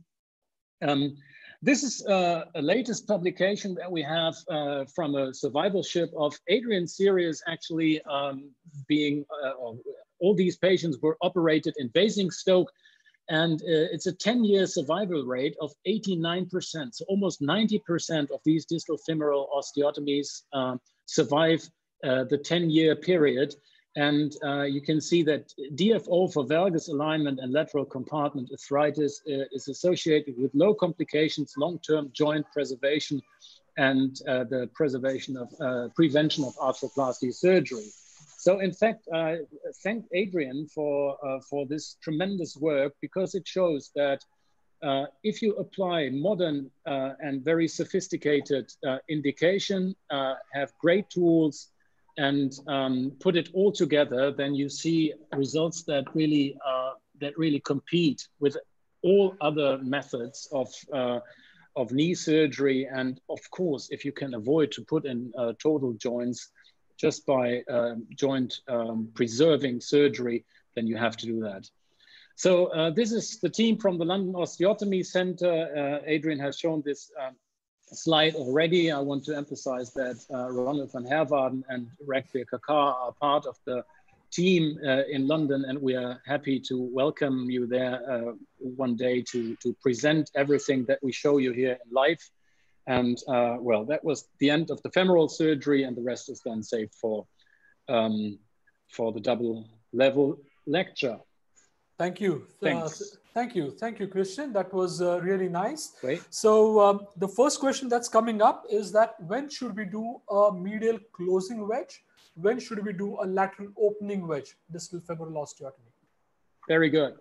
So um, obviously there is often uh, the question about le uh, leg length discrepancy. So yeah. um, well, you do a normally you do an open wedge osteotomy when you say you want to lengthen um, uh, but remember that uh, you lengthen anyhow when you realign a malalignment to straight.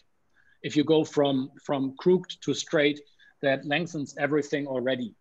So um, that would be a case where I say, when I have a massive discrepancy, more than two and a half, maybe three centimeters, I would say I, I go for an open wedge uh, osteotomy at the distal femur. If this is not the case, I tend not to perform open wedge distal femoral osteotomies because I hate actually uh, the lack of stability that they have. And uh, I don't like to put in, uh, in bone grafts inside. So my personal uh, um, approach would be in case there is no, just always remember that, in case there is no massive uh, leg length discrepancy, my approach is always close the femur, so if I want to correct a valgus, I make a medial closing wedge. If I want to correct the varus, I make a lateral closing wedge. and always approach the tibia from the medial side. So if you want to correct a varus, you make an open wedge HTO. And if you want to correct a valgus at the tibia, you make a closed wedge HTO. So that enables me to basically treat all my osteotomies with just two surgeries. The only question is from where you come and whether you open or close here. At the tibia, it's just open or, opening or closing, and for the femur, it's it's always closing. Sometimes, in occasional cases, of course, if there is leg length discrepancy, you have to do that. Adrian. Yeah, I'm just going to say that on the tibia, in those very rare cases where we're doing intra-articular or we're do, dealing with a, a previous um, um, issue in the tibia, then we would sometimes go to the lateral side and and uh, and do our lateral surgery. The other place for um, lateral approaches is when we do rotational osteotomy.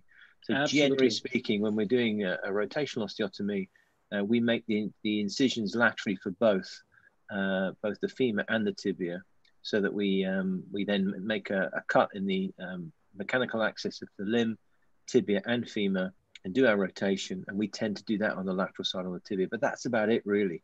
Yeah. So if you're faced with a situation where you have uh, uh, someone who's got recurrent patellar dislocation and also has got a valgus deformity, would you be able to do a concomitant uh, medial closing wedge with an MPFL? Or would that Once be again, I haven't, Sachin, Sachin I, had a, I, I haven't heard that. Can you repeat your question, please? So if you have someone who's got a valgoid knee and has dislocation of her patella, then would it be possible to do put a plate medially and do an MPFL, or would it be better to do a lateral opening wedge and a medial MPFL? Well, absolutely. I would say I would say that's an ideal scenario because the uh, the medial uh, um, the medial DFO, uh, the standard approach that you have, is basically one of the only surgeries where you re really can see the MPFL because as you know, the MPFL consists of two major strands, which is the uh, superior uh, oblique bundle and the inferior straight bundle. And the superior oblique bundle uh, lies directly close to the vastus medialis obliquus fibers. Because it's dynamized by it, this is why there is no isometricity for this ligament. So in fact, the inferior part where you lift up your, your uh, vastus uh, medialis is basically directly uh, in neighborhood to the uh, to the superior oblique bundle of the uh, MPFL. So uh, yes is the answer. It makes sense to to uh, reconstruct it if you go um, from the medial side. Okay. Your plate then, then, sits north of that, okay. so it's not it's by, not by, in the by, way. By playing with the by playing with the uh, the biplane, you can actually create 20 degrees of rotational change by either opening the biplane or closing the biplane, which is something that I learned from Bushan actually. Okay. Um, uh, There's another question is that uh, after doing a distal femoral osteotomy, it is not uncommon that, uh, you know, there's a small step that stays. So when you close it, it's not point to point, but it's like mm-hmm. a small step, you know, something like this. So how do you prevent that? What's the technical tip to try and get over this? So um, for for my technique, uh, Christian, you, Christian, it's so key. Why don't you show? Why don't you show the isosceles triangle slide one more time? Um, yeah, I can take a look at that. Yeah, you could do that. And uh, while he's pulling it up, Adrian, can you also elaborate uh, while he's getting that slide out? Adrian, can you answer this question? Is that uh, can you use the same special retractor that you've demonstrated on the tibia on the femur as well? Well, we're going to develop it for the femur because we think locking retractors into the bone makes a lot of sense. So okay. uh, there's there's a there's a whole family of, and they I, I, we we need to see whether we need to be sided uh, right and left, but they they're going to be um, very um, cheap, disposable, uh, once only using retractors. I think I think that's okay. Go. Okay, Christian, are you able to get the slide up for the same? Mm, I should be able actually. Wait a okay. second. Uh, um, because it's go. such a key. It's such an absolutely key point. Yeah. Is do you mean this one? Do you mean this one? Yeah. Or the, yeah. Yeah. Okay. Wait. No. Well, well, go back. Go back to showing that the uh, the start of the isosceles triangle. And also, uh, if you can, yeah, if you can also specify that as to how much proximal from the joint line should you should you make your cut. So that's another question that's come up. So what should be the distance? Okay, so now I, can you see my cursor? Yes, can you see, see my cursor? cursor? Yes, okay, perfect. So what, what I describe here right now would approximately be the area where the condyle is on an X-ray, okay? So this here. So in fact, uh, the hinge point directly sits on top of the femoral condyle. So if you want to say, if you say you, you make a medial closing wedge, like in this case, yeah, perfect. Who did that? I did it. okay. Great. all the all the sophisticated technique here uh, is it's a miracle. So let's say I like this image actually because that indicates that uh, you can even sometimes if if it's if this condyle is very close to the to the cortex, it might be critical to place a proper hinge because th this is really a risk for uh, for hinge fracture and instability. So if you place now this, uh, this uh, hinge even a little lower, so within the, within the condyle, um, then you uh, can, uh, can, can if, if, you scratch away the, the upper parts with a saw, it doesn't really play a big role. Um, I rather like to have it this way uh, and, and have a good stability than the other way around. So um, this is where the, the hinge has to be. And then you draw a line from there to your starting cortex. And there is endless lines that you could draw. You could draw one here, you could draw one there, but there is only one line which creates a rectangular shape to the tangential of the starting cortex in relation to this line that you, that you orient to your hinge. So there is only one line that recreates rectangular surfaces. And this is the center of your osteotomy. So, so if you say you have... Yeah, so Christian, if yeah. you can just stop for a second. So how do we actually find this line intraoperatively? So what's your trick? Do you pass a K-wire and see if it's yeah, perpendicular? Right. So can you right? I, I, I take I take a look at that. I take a look at that. This is the X-ray that you have. Forget about this this triangle which is now on. Huh? Yeah. So you just shoot a K-wire. Let's look from here. You just shoot a K-wire, put it inside. So if the, the K-wire that you shoot in has an upper angle in between this K-wire and the cortex, which is bigger than 90 degrees, then obviously it has to be it has to be the uh, the uh, upper K-wire. If it's lower than 90 degrees, then it has to be the K-wire, as you see here. Yeah. So this is how you can, can control your first K-wire. It has to be somewhat around 90 degrees. So if it's off completely, if you shoot a K-wire from here and you have like, I don't know, 130 degrees angle, uh, then obviously it's, it's, it's not the right starting point. So um, you need to be somewhere close to this area where the three sisters are. This is this anatomic shape, this curvature that you find here. Yeah. Then you shoot your first K wire, and then you can see which one it is. Now, and another question, Christian, Christian, just just yeah. one one quick quick quick tip there. Also, I think for for for even fairly um, advanced femoral osteotomy surgeons, it's often quite a good idea to place the plate against the bone, to look at the contour of the plate. They're anatomically shaped, and it gives you a very nice idea where you you need to be to apply the plate at the end of the procedure such that it fits nicely and you've got this um, cut that is running down the middle of a, of a equilateral triangle. So uh, yeah. on, on the same thing, triangle. yeah, on the same thing, if I can ask another very valid question, that when you're correcting a varus knee, you know, if you've got a varus deformity and you're doing yeah. a tibial osteotomy, you're, you're doing the osteotomy on the medial side underneath the yes. affected compartment. You're releasing the MCL so that you can do that. But in a valgus knee, why don't we do the osteotomy on the lateral side where the compartment is affected? And why do we do it on the medial side? So that's another uh, question that's come up. In a valgus knee for the tibia? In you mean a tibial height? No, no, we're talking about, so in a varus knee, we're doing a medial yeah. open wedge tibial osteotomy.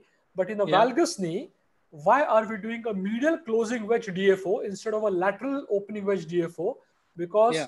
the affected compartment is the lateral side. So Yeah, does it make sense? You, does yeah. it make sense to do the surgery on the side that is affected? Is what the question is hinting towards. Well, let's be honest. If you if I if I make a medial closing wedge, I'm making the cut all the way through to the lateral side. So I don't think that the question is, do I treat the medial side by or do I treat the lateral side by by uh, by making the cut starting from the medial side?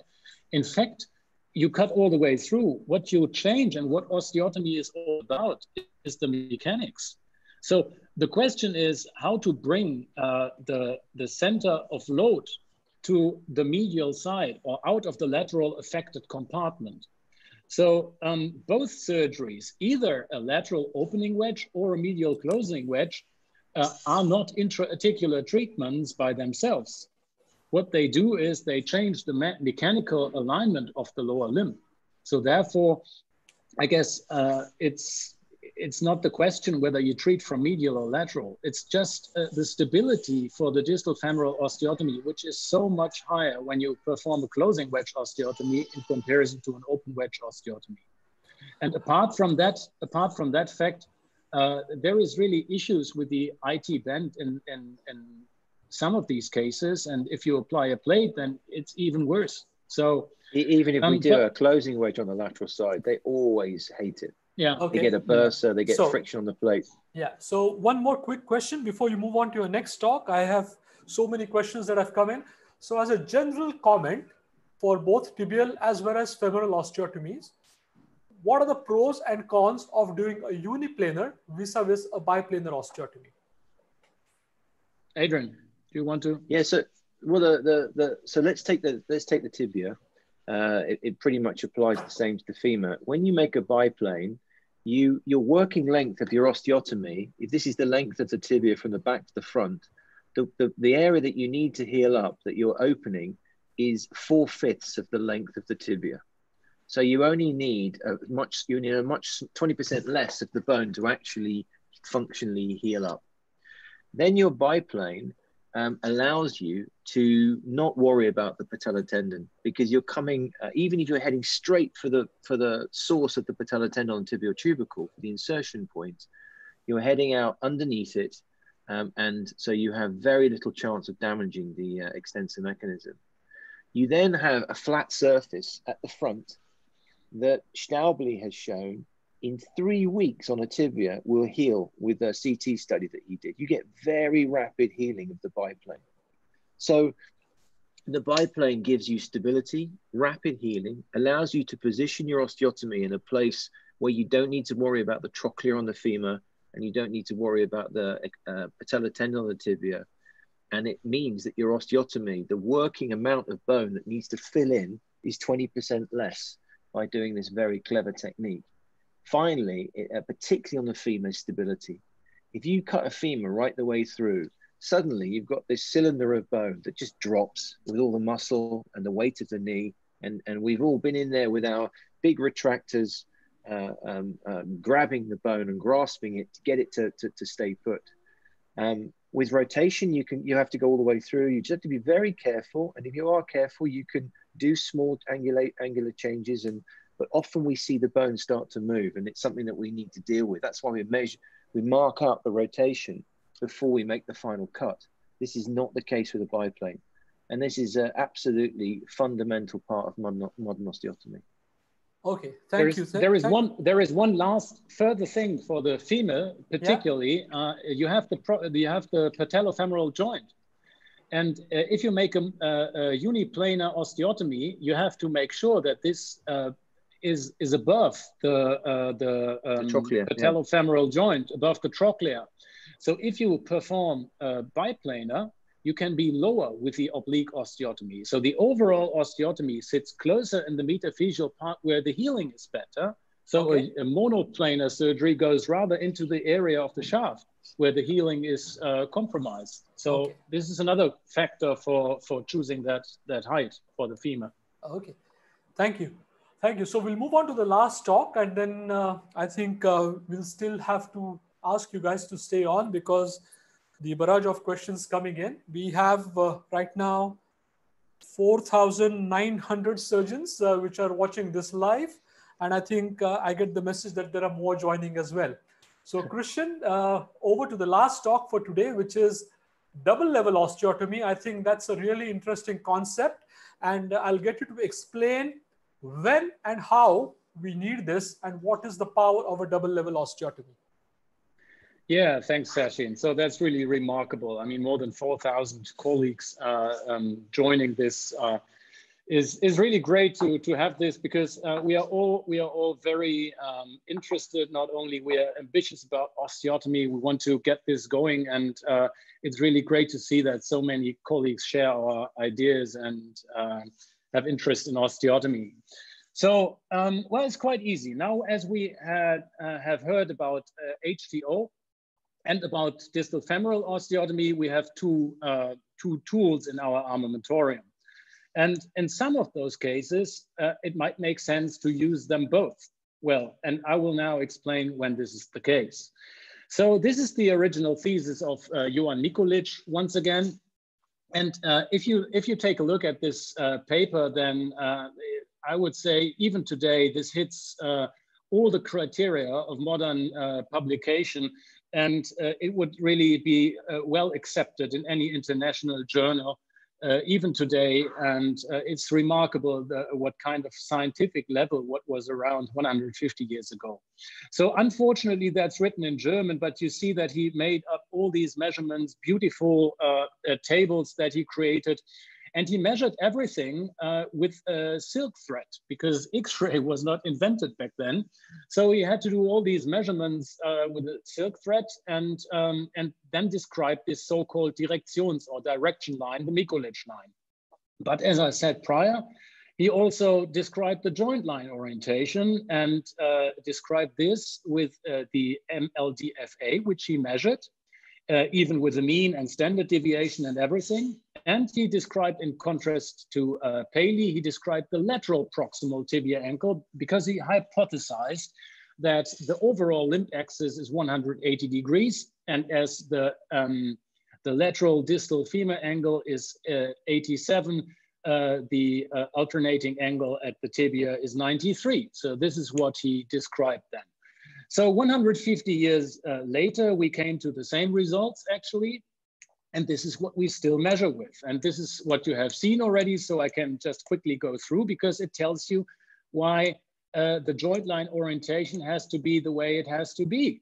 Uh, actually, of course, you can uh, change uh, the overall limb axis by just applying HTOs and, and changing the Mikulicz line from medial to lateral or the other, other way around. But what you cannot do is you cannot affect the uh, joint line orientation by a tibial osteotomy. And this is very important to uh, get functional, uh, functional biomechanics.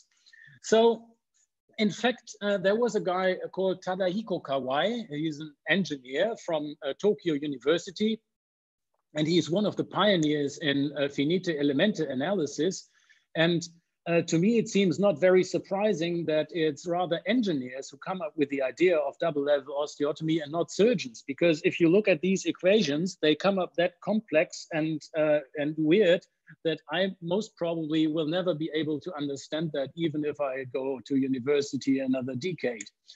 So, but there are uh, uh engineers around, and one of them is surprisingly, this is what this is exactly the Mayo Clinic. Um, can you see now everything? Because there, okay, the internet connection is not stable. So anyhow, uh, uh, Edmund Chao worked in the Mayo Clinic that uh, Mikulicz himself visited 150 years ago um, to just take a look at Horace and I forgot the name of his brother. Anyhow, the founders, uh, Mayo, Horace uh, and, and Grand uh, uh, Mayo, I guess, um, and these founders of the Mayo Clinic hosted uh, Mikulicz 150 years ago. So uh, what a tremendous journey this man uh, took on his shoulders just to uh, get to know all uh, the, the latest science that was around back then and how much easier it is for us now to just um, share a Zoom uh, conference and, and uh, get, get everything delivered in your house. So anyhow, it was Edmund Chao who uh, worked as an engineer in the Mayo Clinic, and he said, well, uh, if there is um, if there is now an, an option to transfer this uh, this uh, spring model that Tadahiko Kawai created for car engineering, actually, I can maybe transfer this um, uh, for bone surgery. And he created something like a rigid bone spring model. And he measured lots of forces around the knee joint um, and, and fed all this into a software program called OASIS. And that software program just was responsible then for calculating, uh, based on, on the measurements that were uh, carried out, uh, what kind of load distribution makes sense when you apply an osteotomy. And obviously you have a chance now uh, to correct this uh, alignment, which is obviously far varus. Almost Mikulicz line is almost not touching the border of the tibia, the medial border of the tibia anymore. So uh, this is 100% medial loading at 11 degrees of varus. And you could correct this now with a isolated tibial osteotomy um, and come to a 40% medial loading uh, at a five degree valgus, but with a nine degree lateral tilt from the joint line. So that would be one solution. And it does not really matter whether you perform a medial open or lateral closing tibial uh, osteotomy. The concept of a single level osteotomy is just wrong. So um, the answer that the OASIS program provided was a different one, and it suggested a double level osteotomy because the femur dictates the joint line orientation. And so you can distribute the overall um, amount of correction to split it up, to some at the femur and some at the tibia, and end up with the same orientation of the Mikulicz line, but just with a 2.5 degree lateral tilt of the joint line. So in fact, this program was way smarter than most of the surgeons were based on the work of the engineers. But there was one surgeon at the Mayo Clinic uh, it, he was uh, that was uh, Georgios Babis, who's now working in Athens uh, and surprisingly not making lots of osteotomies anymore. But he said, well, if this software is that smart, then I just take these measurements from this software and apply it uh, and and uh, tailor my surgeries to that. And he did all these double level osteotomies suggested by the software and published a, a series um, uh, with the survival rate of 96% after seven years, uh, which is, Adrian, even a little bit better than your femoral publication we have just uh, received with just 90% after 10. But there is a gap of three years, of course, we have to admit. So that's remarkable figures. And there has to be some truth in the fact that not just the Mikulicz line itself is of importance, but the joint line orientation. And as a rule of thumb, whenever you have a Mikulicz line that does not touch the knee anymore, like in this chap here, then if you make a mono uh, or a single level uh, osteotomy and perform something like this, where you draw a virtual Mikulicz line and open it up, um, then you come up with a correction that might end up at an MPTA, which is 100 degrees or more. And this is an, uh, a malalignment and a deformity in itself that you created heterogenically. So that cannot be right. And not all these deformities can be addressed at the tibia because the joint line needs to be taken into consideration. So this is a patient that uh, I planned for a live surgery, basically um, a tibial osteotomy. And uh, he had a tibial osteotomy at the contralateral side a couple of years ago. And luckily, we retrospectively measured that. Uh, it was okay to treat him at the tibia. But for this surgery, particularly for this surgery, and you can take a look at the massive varus with a, uh, even with a, uh, with a, a, thrusting and a triple uh, um, varus deformity, um, you can see that these were uh, the, the, measurements. So the analysis of the malalignment came out with an MLDFA 92 degrees and an MPTA of 85. So the overall um, deformity was way more in the distal femur than in the proximal tibia. Thus, it was a varus, of course. Now, if you if you treat this varus by a single level HTO, you end up with an MPTA of 100 degrees, as we said, and with a massive opening of some 20 millimeters. So obviously, that creates something which is highly abnormal and rather has to be considered considered as palliative surgery So you just are able to bring the Mikulicz line to the desired area, but you're not able um, to fully reconstruct anatomy in terms of working biomechanic structures. So you have to go in these cases back to your drawing board. And this was the, uh, the correction that I then came up with, uh, seven degrees at the femur and six degrees at the tibia. So this is uh, a little bit uh, something about uh, distal femoral osteotomy, why we skipped from the traditional approach to uh, basically the rather minimally invasive one, but I've told you that before. And this is now the live surgery that we carried out. And um, I just shortly get you through this because this is now from the lateral side.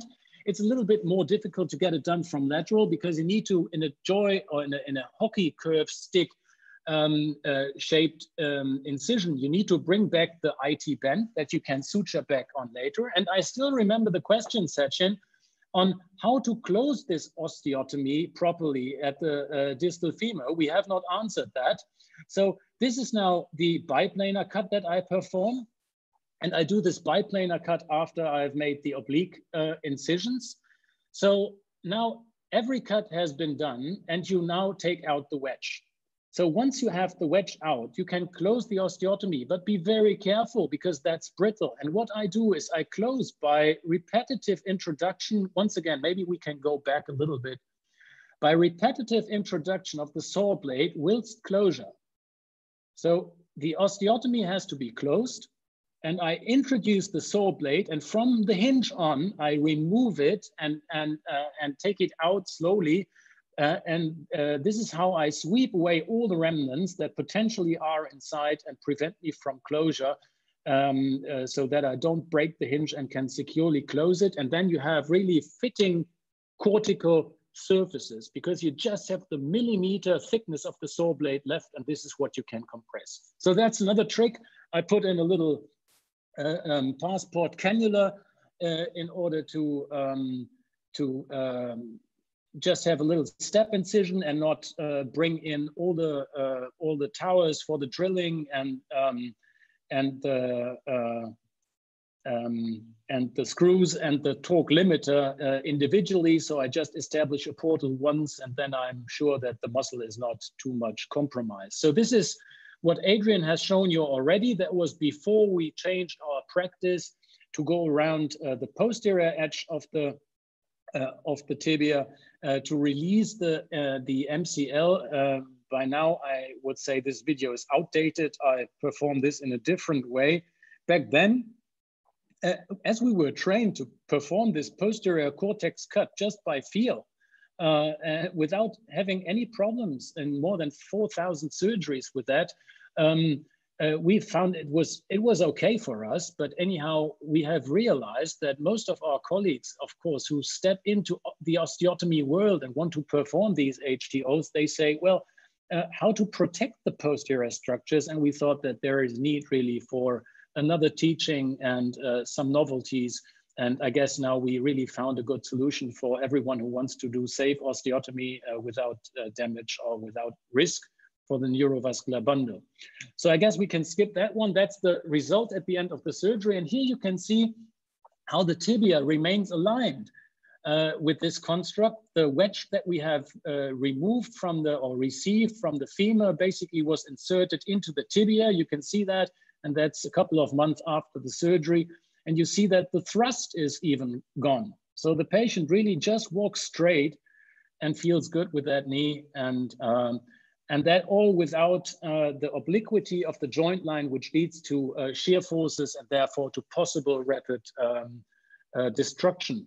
So uh, as a summary, in some cases, double level osteotomy makes sense. And in some cases, cases it's, it's even the only option you have Puristically seen, it's up to 10% of the cases. Um, uh, and uh, of course, you need to master the technique. So I strongly recommend you to start off with a tibial osteotomy, then you go for the femur. And once you master them both, you make double level osteotomies. Use reliable implants. And as Adrian said already, this is has to be understood as a construct, as a working construct. You cannot just use any plate you want. Uh, this is condemned to fail or uh, you'll be uh, you'll be faced with higher failure rates, and this is something which is not acceptable as there is brilliant uh, um, uh, tools around. So uh, rather use these, please, and start with single level, as I said. So that slide is already familiar for you. Thanks a lot. I guess we're done here with this talk. Thank you. Thank you so much, uh, Christian, and thank you, Adrian. So we're going to open the house for questions now. And Sandeep Biraris has a question on the hinge. So Sandeep, do you want to shoot your questions? And then I have other questions to follow. Sure, sir. Uh, so I have a question for uh, all the faculties. Uh, like, uh, uh, have you noticed any breakage of the hinge screw or any of the implant? That's the question number one. And when do you start full weight bearing? That's question two. Use of bone graft uh, anytime and removal of the implants. Okay, so there are four questions coming here. So does the hinge screw break ever? Well, we haven't experienced a hinge screw breakage yet. I guess a screw itself is, is quite stable. And once, uh, well, I, I would rather say that the hinge around the screw breaks. So it's, uh, we haven't experienced that now. No, we haven't. Plate breakages, obviously you can see that.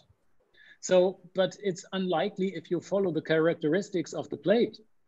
So if you leave out screws just uh, on your own idea uh, and, and you are not following the concept of these yeah. plates, then, then uh, of course it's risky. You shall not do this. These, these plates are all calculated. They are all tested under finite elemente analysis conditions so it's quite unlikely to have that if you follow the complete concept. Okay, Adrian, a quick question to you. You're doing surgery and you see a hinge fracture. So how do you tackle uh, Takeuchi 1, 2, and 3 if you notice it intraoperatively? Yeah, so one is uh, one is almost universal. On a CT, if you look, you'll see a fracture in just about every single osteotomy that you do that extends out to the lateral cortex. Um, you know, obviously we don't see these on the X-ray. Um, I, I, think meticulous, careful surgery avoids the situation where you have a unstable hinge fracture, um, and uh, that is the absolute key. Now, if you do run into problems where you get displacement, um, uh, we've been working on some new tools, uh, which we, we, if we had time, we would share with you, where you can get indirect compression um, of the hinge in exactly this situation. And uh, that's a very nice little thing. Again, we've spent a bit of time with Newclip. They've been very receptive and they have a lovely tool for that. And in fact, you saw as well, Sachin. So I think that's going to be a good solution for that when we were presented with that. I think the um, the type two is something that you very rarely see uh, intraoperatively. It's something that you see on your post-op X-ray, and when you see that, you just take the patients a little bit more quietly um, and you slow them down, you put them on crutches, and it doesn't tend to be a problem, but it is a source of uh, potential non-union. And I've had a couple of cases where I've actually used a bone stimulator um, just to make sure that you don't run into trouble. And I've never had a non-union there. Takeuchi 3, I have seen on two or three occasions in my career. And this is just uh, uh, like fracture fixation for all of us. We see the step as the fracture goes up into the joint and we just um, put a clamp across the tibia. Uh, we reduce the tibia such that the fracture is reduced. Then we fix it with two cannulated screws, just as we would normally, just below the joint line. So that's how we deal with the uh, with the uh, unexpected Takeuchis. But I think if you follow the steps, if you do biplane surgery, um, if you're just careful at the very end with how far you go with your saw, I think you can avoid these problems. Another key um, point to say is you must obviously cut under the wires when you're doing a tibial osteotomy because that minimizes the chance of a fracture going north towards the joint line because you're making your saw cut underneath your two wires that you've placed. Um, so that's another good little trick that, that uh, we didn't mention. Perfect. Okay. Um, next question is that um, when in a tibial biplanar osteotomy, when do you take the tibial tubercle proximally? When do you take it distally? Christian, do you want to answer that? once again, uh, the, the, the, you, the question was on the, as I understood it, Dis, on the distal tibial, versus, dis, uh, distal versus, cut, distal, yeah. distal okay, versus proximal. Got it. So, um, well, uh, the, the concern here quite often is the patella height. So uh, the question is, obviously, if I make a biplanar uh, with an ascending cut, then I change the patella height if I lift that up. And if I do it uh, to the distal side, I don't change anything at all. So some there was some uh, ideas around uh, uh, uh standard-wise uh, going for distal cut. So the distal osteotomy has also some disadvantages. And um, if you make a distal cut, um, then you have the problem that the whole extensor mechanism constantly works against this. And therefore, it's potentially a little bit more unstable than the ascending cut. This is why it's recommended to, if you make a distal cut, fix it with uh, individual screws through this cut, like little fragment screws that you uh, point from A to P. So um, in my hands, uh, I'm not that concerned about uh, the patella height. If not, uh, at the starting level already, you have a massive patella baja. So if you have a baja at the very start, I would say a distal uh, a biplanar would be okay. Um, but if you look at really the change of patella height um, and, and measure, uh, measure it up really carefully, and as you see, um, if I have openings of some 20 millimeters for isolated HTO, in most of the cases in my hands, this is a double level. So my average opening now is 10 mils. If you make a 10 millimeter opening, then at the level of the, if you look on the AP image, at the level uh, of the uh, tibial tubercle, uh, which is rather to the lateral side, you may have an opening of four millimeters. So an overall change of the patella height at a 10 millimeter HTO might be four mils. In fact, it's even fewer than that because as Adrian already emphasized, the gap opening is trapezoidal. So in the back, it's higher than in the front. And where is the tibial tubercle? Well, it's quite far in the front. So I would say this is the narrowest part of opening. Yeah. So from these four millimeters that you open up in a 10 millimeter opening scenario, some three or two millimeters even just persist for the change of the patella height. And for the sake of stability, I would say it's justifiable to have a patella high change of two mils if it's not drastically uh, altered at the very at the very beginning of the surgery. So that would be my answer to okay. that. Okay. Yeah, the uh, only other thing to say, the only other thing to add yeah. in is is existing patellofemoral symptoms. Yeah. So the that patients is what I was going got, to come to. Yeah. So yeah, if, you, got, if, some, if, if, you have someone who's got uh, uh, patellofemoral osteoarthritis, will you use the biplane effectively to try and compensate for a bit of uh, symptoms coming from the patellofemoral joint? Yeah, I think I, I think so, Sachin. I mean, I think certainly wouldn't want to make it worse. These patients normally don't present with two um, sources of pain, anterior and medial. We're normally just treating the medial OA, um, and we see um, uh, evidence of arthritis of the patellofemoral joint on the X-rays and the MRI scan. So we're being careful with those patients not to stir up the patellofemoral joint. It's quite uncommon, uh, again, except for in rotational osteotomy, to be messing around with the tibial tubercle to try and help the uh, patellofemoral joint. It's more to avoid a problem. Okay. Uh, is the lateral closed wedge tibial osteotomy a dead procedure? Uh, well, like I say, for rotation, it's the absolute workhorse. and it's not something no, that people are doing. For a varus for, deformity, is it? A... For osteoarthritis, yeah. well, it would depend. If you had um, scarred structures uh, medially, Ronald van Heerwaarden's got a lovely case of a patient that was involved in a, in a polytrauma and they'd had flap surgery medially um, obviously, you would you would never go anywhere near the medial side. In that case, you would use the virgin territory of the lateral side, um, and you would carry out your osteotomy on the lateral side and, and do something uh, to the to the um, proximal fibula. Okay. Yeah, I would I would just add here, and yeah. you're absolutely right, Adrian. We're not here to persuade anyone from a working uh, practice. So if you do that, and this is your the way you do that, I mean, if, if you osteotomize anyhow, that's, I guess, better than just putting in uh, total knee uh, replacements in all the patients that might not deserve one. So um, it's just what we present is just our way of adopting everything and and getting things done in a in the easiest way. So this is what we can suggest. But when okay. but when we dial when we dial back Sachin and we look at the lateral closing wedge, I saw Peter Myers doing this very expertly when I was with him in 2004. Yeah. And his anaesthetist had had both sides done. I mean, half the people in Brisbane seemed to have had an osteotomy under Peter, and he he loved that technique. But uh, and it's a great technique, but um, the advantages of doing this to surgery on the medial side and not changing the configuration and the anatomy of the proximal tibia mean that when the patient comes round for hopefully um, if they need another operation a partial knee replacement or total knee replacement you don't have this this step that we used to see with the um, closing wedge osteotomy. So if we look at the at the problems associated with the lateral closing wedge, um, common peroneal nerve injury, particularly the branched EHL. We've got the problem of uh, bone stock in that part of the tibia. We've got the issues of mobilizing the proximal tib fib joint. And we've got uh, potential compartment syndrome bleeding down into the anterior compartment, into the lateral compartment.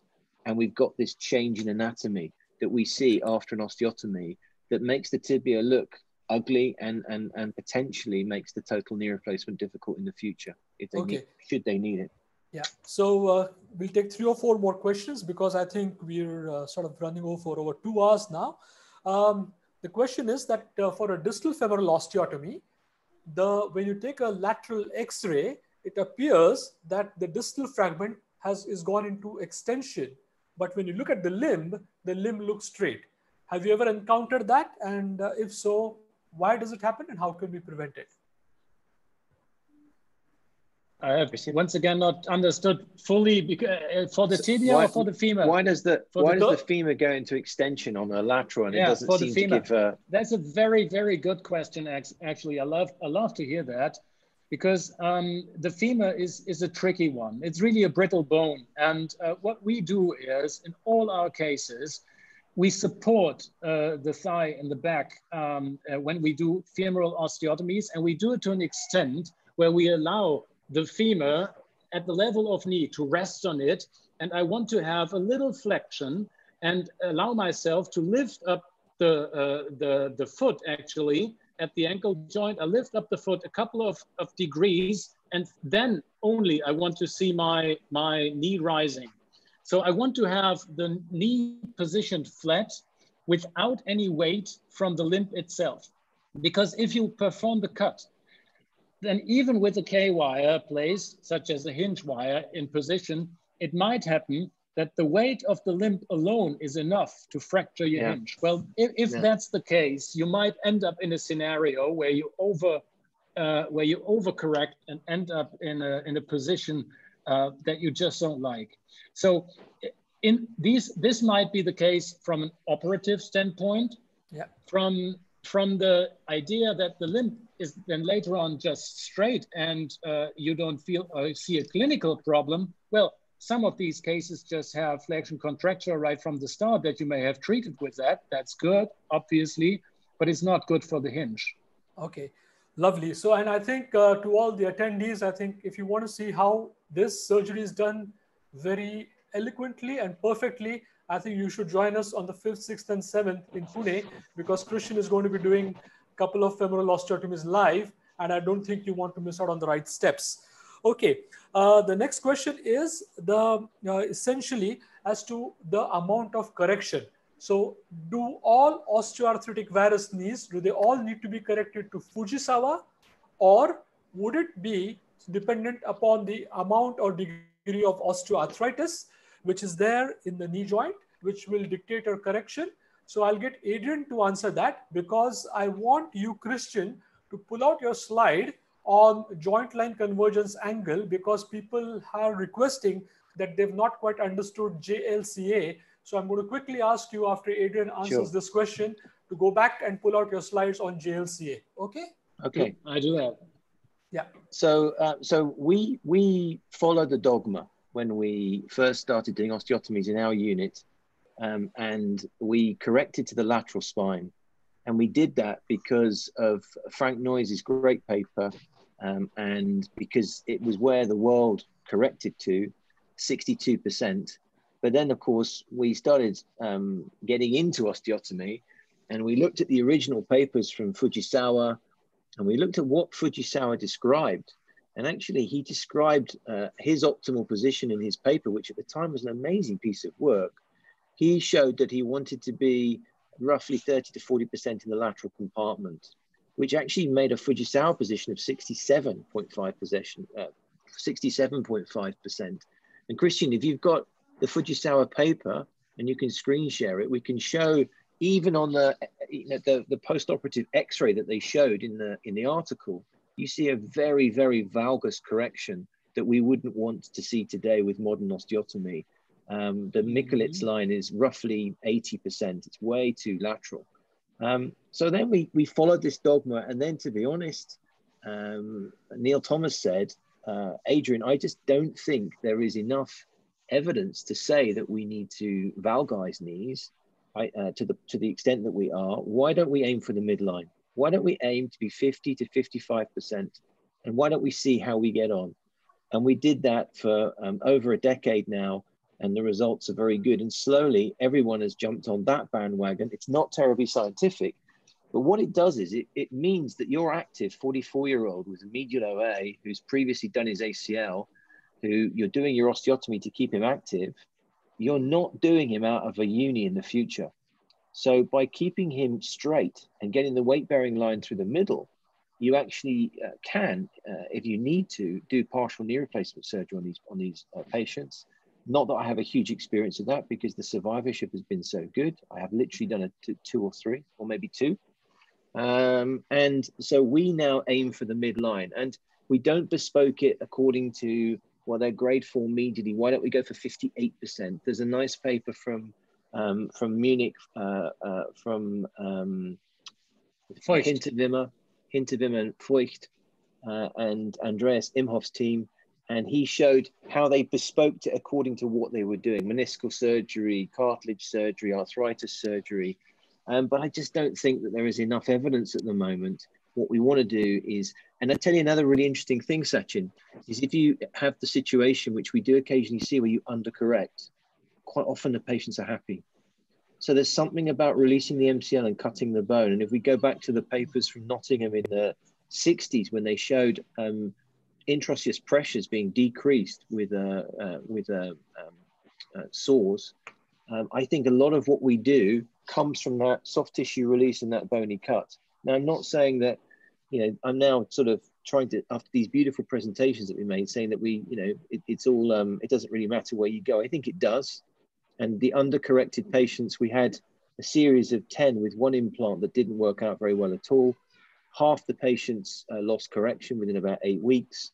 And half of those patients were happy and half weren't, and we had to revise them. So we want to aim, I think, for 50 to 55%. Okay, fair answer. Uh, Christian, do you want to quickly re-explain in a brief about the JLCA?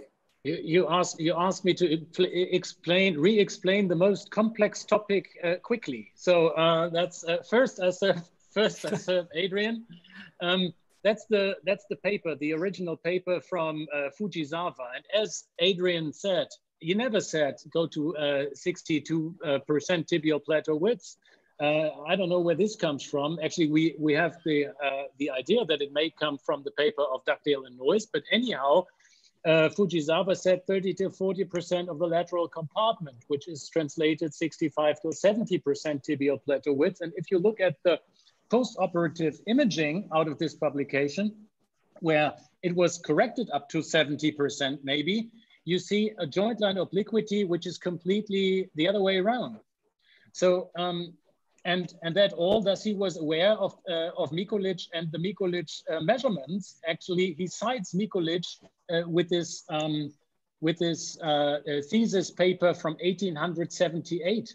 So uh, that's really great, a great masterpiece of Fujisawa that he was aware of all this scientific stuff that was around. So now let's go back to the Dugdale and Noyes paper because they were the ones hypothesizing in this particular paper that I'm citing here that it might be better to go to uh, 62 till 66%.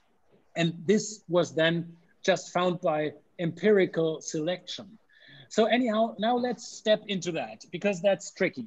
So we learned that there might be some malalignment in the femur or there might be some malalignment in the tibia if you individually measure it and analyze it. But it might also be at the level of the joint. Well, if it's a medial full thickness defect, like in this case, so to say, it might even be that there is no malalignment in the metaphysis of the femur and the tibia, and it's purely a medial joint problem, which then would possibly be applicable for unicondylar replacement. But anyhow, if this is not the case and you say, well, he, this is a case where the patient has a torn ACL and it's rather posteromedial osteoarthritis than anteromedial osteoarthritis, this patient is someone for an osteotomy or maybe it's age that gets you there. You have a joint line convergence angle, which is about to be corrected if you want to get the Mikulicz line corrected to a certain point that you have chosen. But you don't know to which extent the joint will open up at the end and clean over after you corrected the mechanical problem. So now there is a way of finding out. And this way of finding out is either by uh, doing some x-rays, like stress x-rays, so you get a certain idea of uh, to where it or how much it may, may change. But there is also a calculation based on an equation. And this equation was made by Dugdale and Noyes based on three quarters of the tibial plateau width. Um, uh, and um, basically it gives you at the end a correction constant. So the equation itself, I can share this with you, but this is very complex. Um, it's, uh, it's basically the radiance of, uh, of, um, of 180 degrees divided by, uh, by pi and that gets you to the 70, uh, 76 uh, correction constant. But let's not make it too complex. Let's just take a look at the, the knee itself and how it looks before and at the end of the surgery. So a normal joint line convergence uh, angle is two degrees, zero till two degrees, okay? So hypothesizing that if you correct it uh, it will not be more than two degrees. So it will not clean to the other side, like being minus three, four, five, seven degrees, whatever. I say that there is an actual status you're in. In this case, you have a JLCA of eight degrees. So if you now correct and go over, follow my cursor in a, in a valgization correction, and so it opens up at the medial side. The question is now to where will it open up? So my hypothesis is it ends up at two and it's right now at eight. So the range in between is six degrees. Is that right? Yeah, yeah. Yes. So will it react at all uh, or not at all? Or will it react completely? All the eight degrees correct, then it looks at the end like this. And if it does not correct at all and it remains in a contracted uh, situation, then it will stay at a joint line convergence of eight. But I have to apply this change to my correction, to my bony correction overall, because if I don't do this and it may open up, then I end up at eight degrees of overcorrection. If it completely resolves within the joint and goes eight degrees or six degrees in this case, further to the lateral side, I've created an overcorrection. So I need to reduce my overall HTO by some degree. And now how, how many degrees are there that I have to reduce? Well, and, and there I just say, well, let's form a bell curve and say we start at two and uh, we start at eight and maybe possibly end up at two. This is the range of varia that you may enter for the correction. So, and this range is six degrees. So, and if you say, well, I don't know if I maybe under anticipated if I just take two till five, or over anticipate if I say, well, it reacts completely, five till eight. There is a middle in between, which is here five, and this is three from two and three from eight. So, and the range then is here somewhere in the middle, uh, identifying um, your standard deviation. So, and of course, now you can easily see that the value is three, but you can also calculate it just by looking at the joint line uh, convergence angle that you're measuring. So if you measure eight and you say, I may come to two, then you can def defy the range because two is a fixed uh, figure. It's the normal value. So you can defy the range by just uh, subtracting two from your actual measured joint line convergence angle. So in this case, eight minus two. And to find the middle of it, here, the peak of the bell curve, you just div divide it by two. So it's JLCA minus two divided by two. And that brings you to three degrees of uh, consideration of correction. Perfect. I think uh, you've made it really quite simple. And uh, I think we probably call it a day here. We've been going on for over two and a half hours now. We started at seven. It's now close to 9.30 India time. I still have close to 278 uh, pending questions more. So that'll probably take you to your dinner time and our breakfast time. And a uh, lot of questions coming on slope correction. So slope correction, I think, is a completely uh, sort of, it's a huge topic in itself. And I'm going to sort of ask you guys to hold on. Once this finishes, I'm going to speak to Adrian and Christian again and see if they're happy to come back one more time to join us on another webinar, essentially looking at uh, slope corrections and how we can use them effectively in our practice. Of course, uh, we'll be discussing slope corrections very effectively in Pune course as well.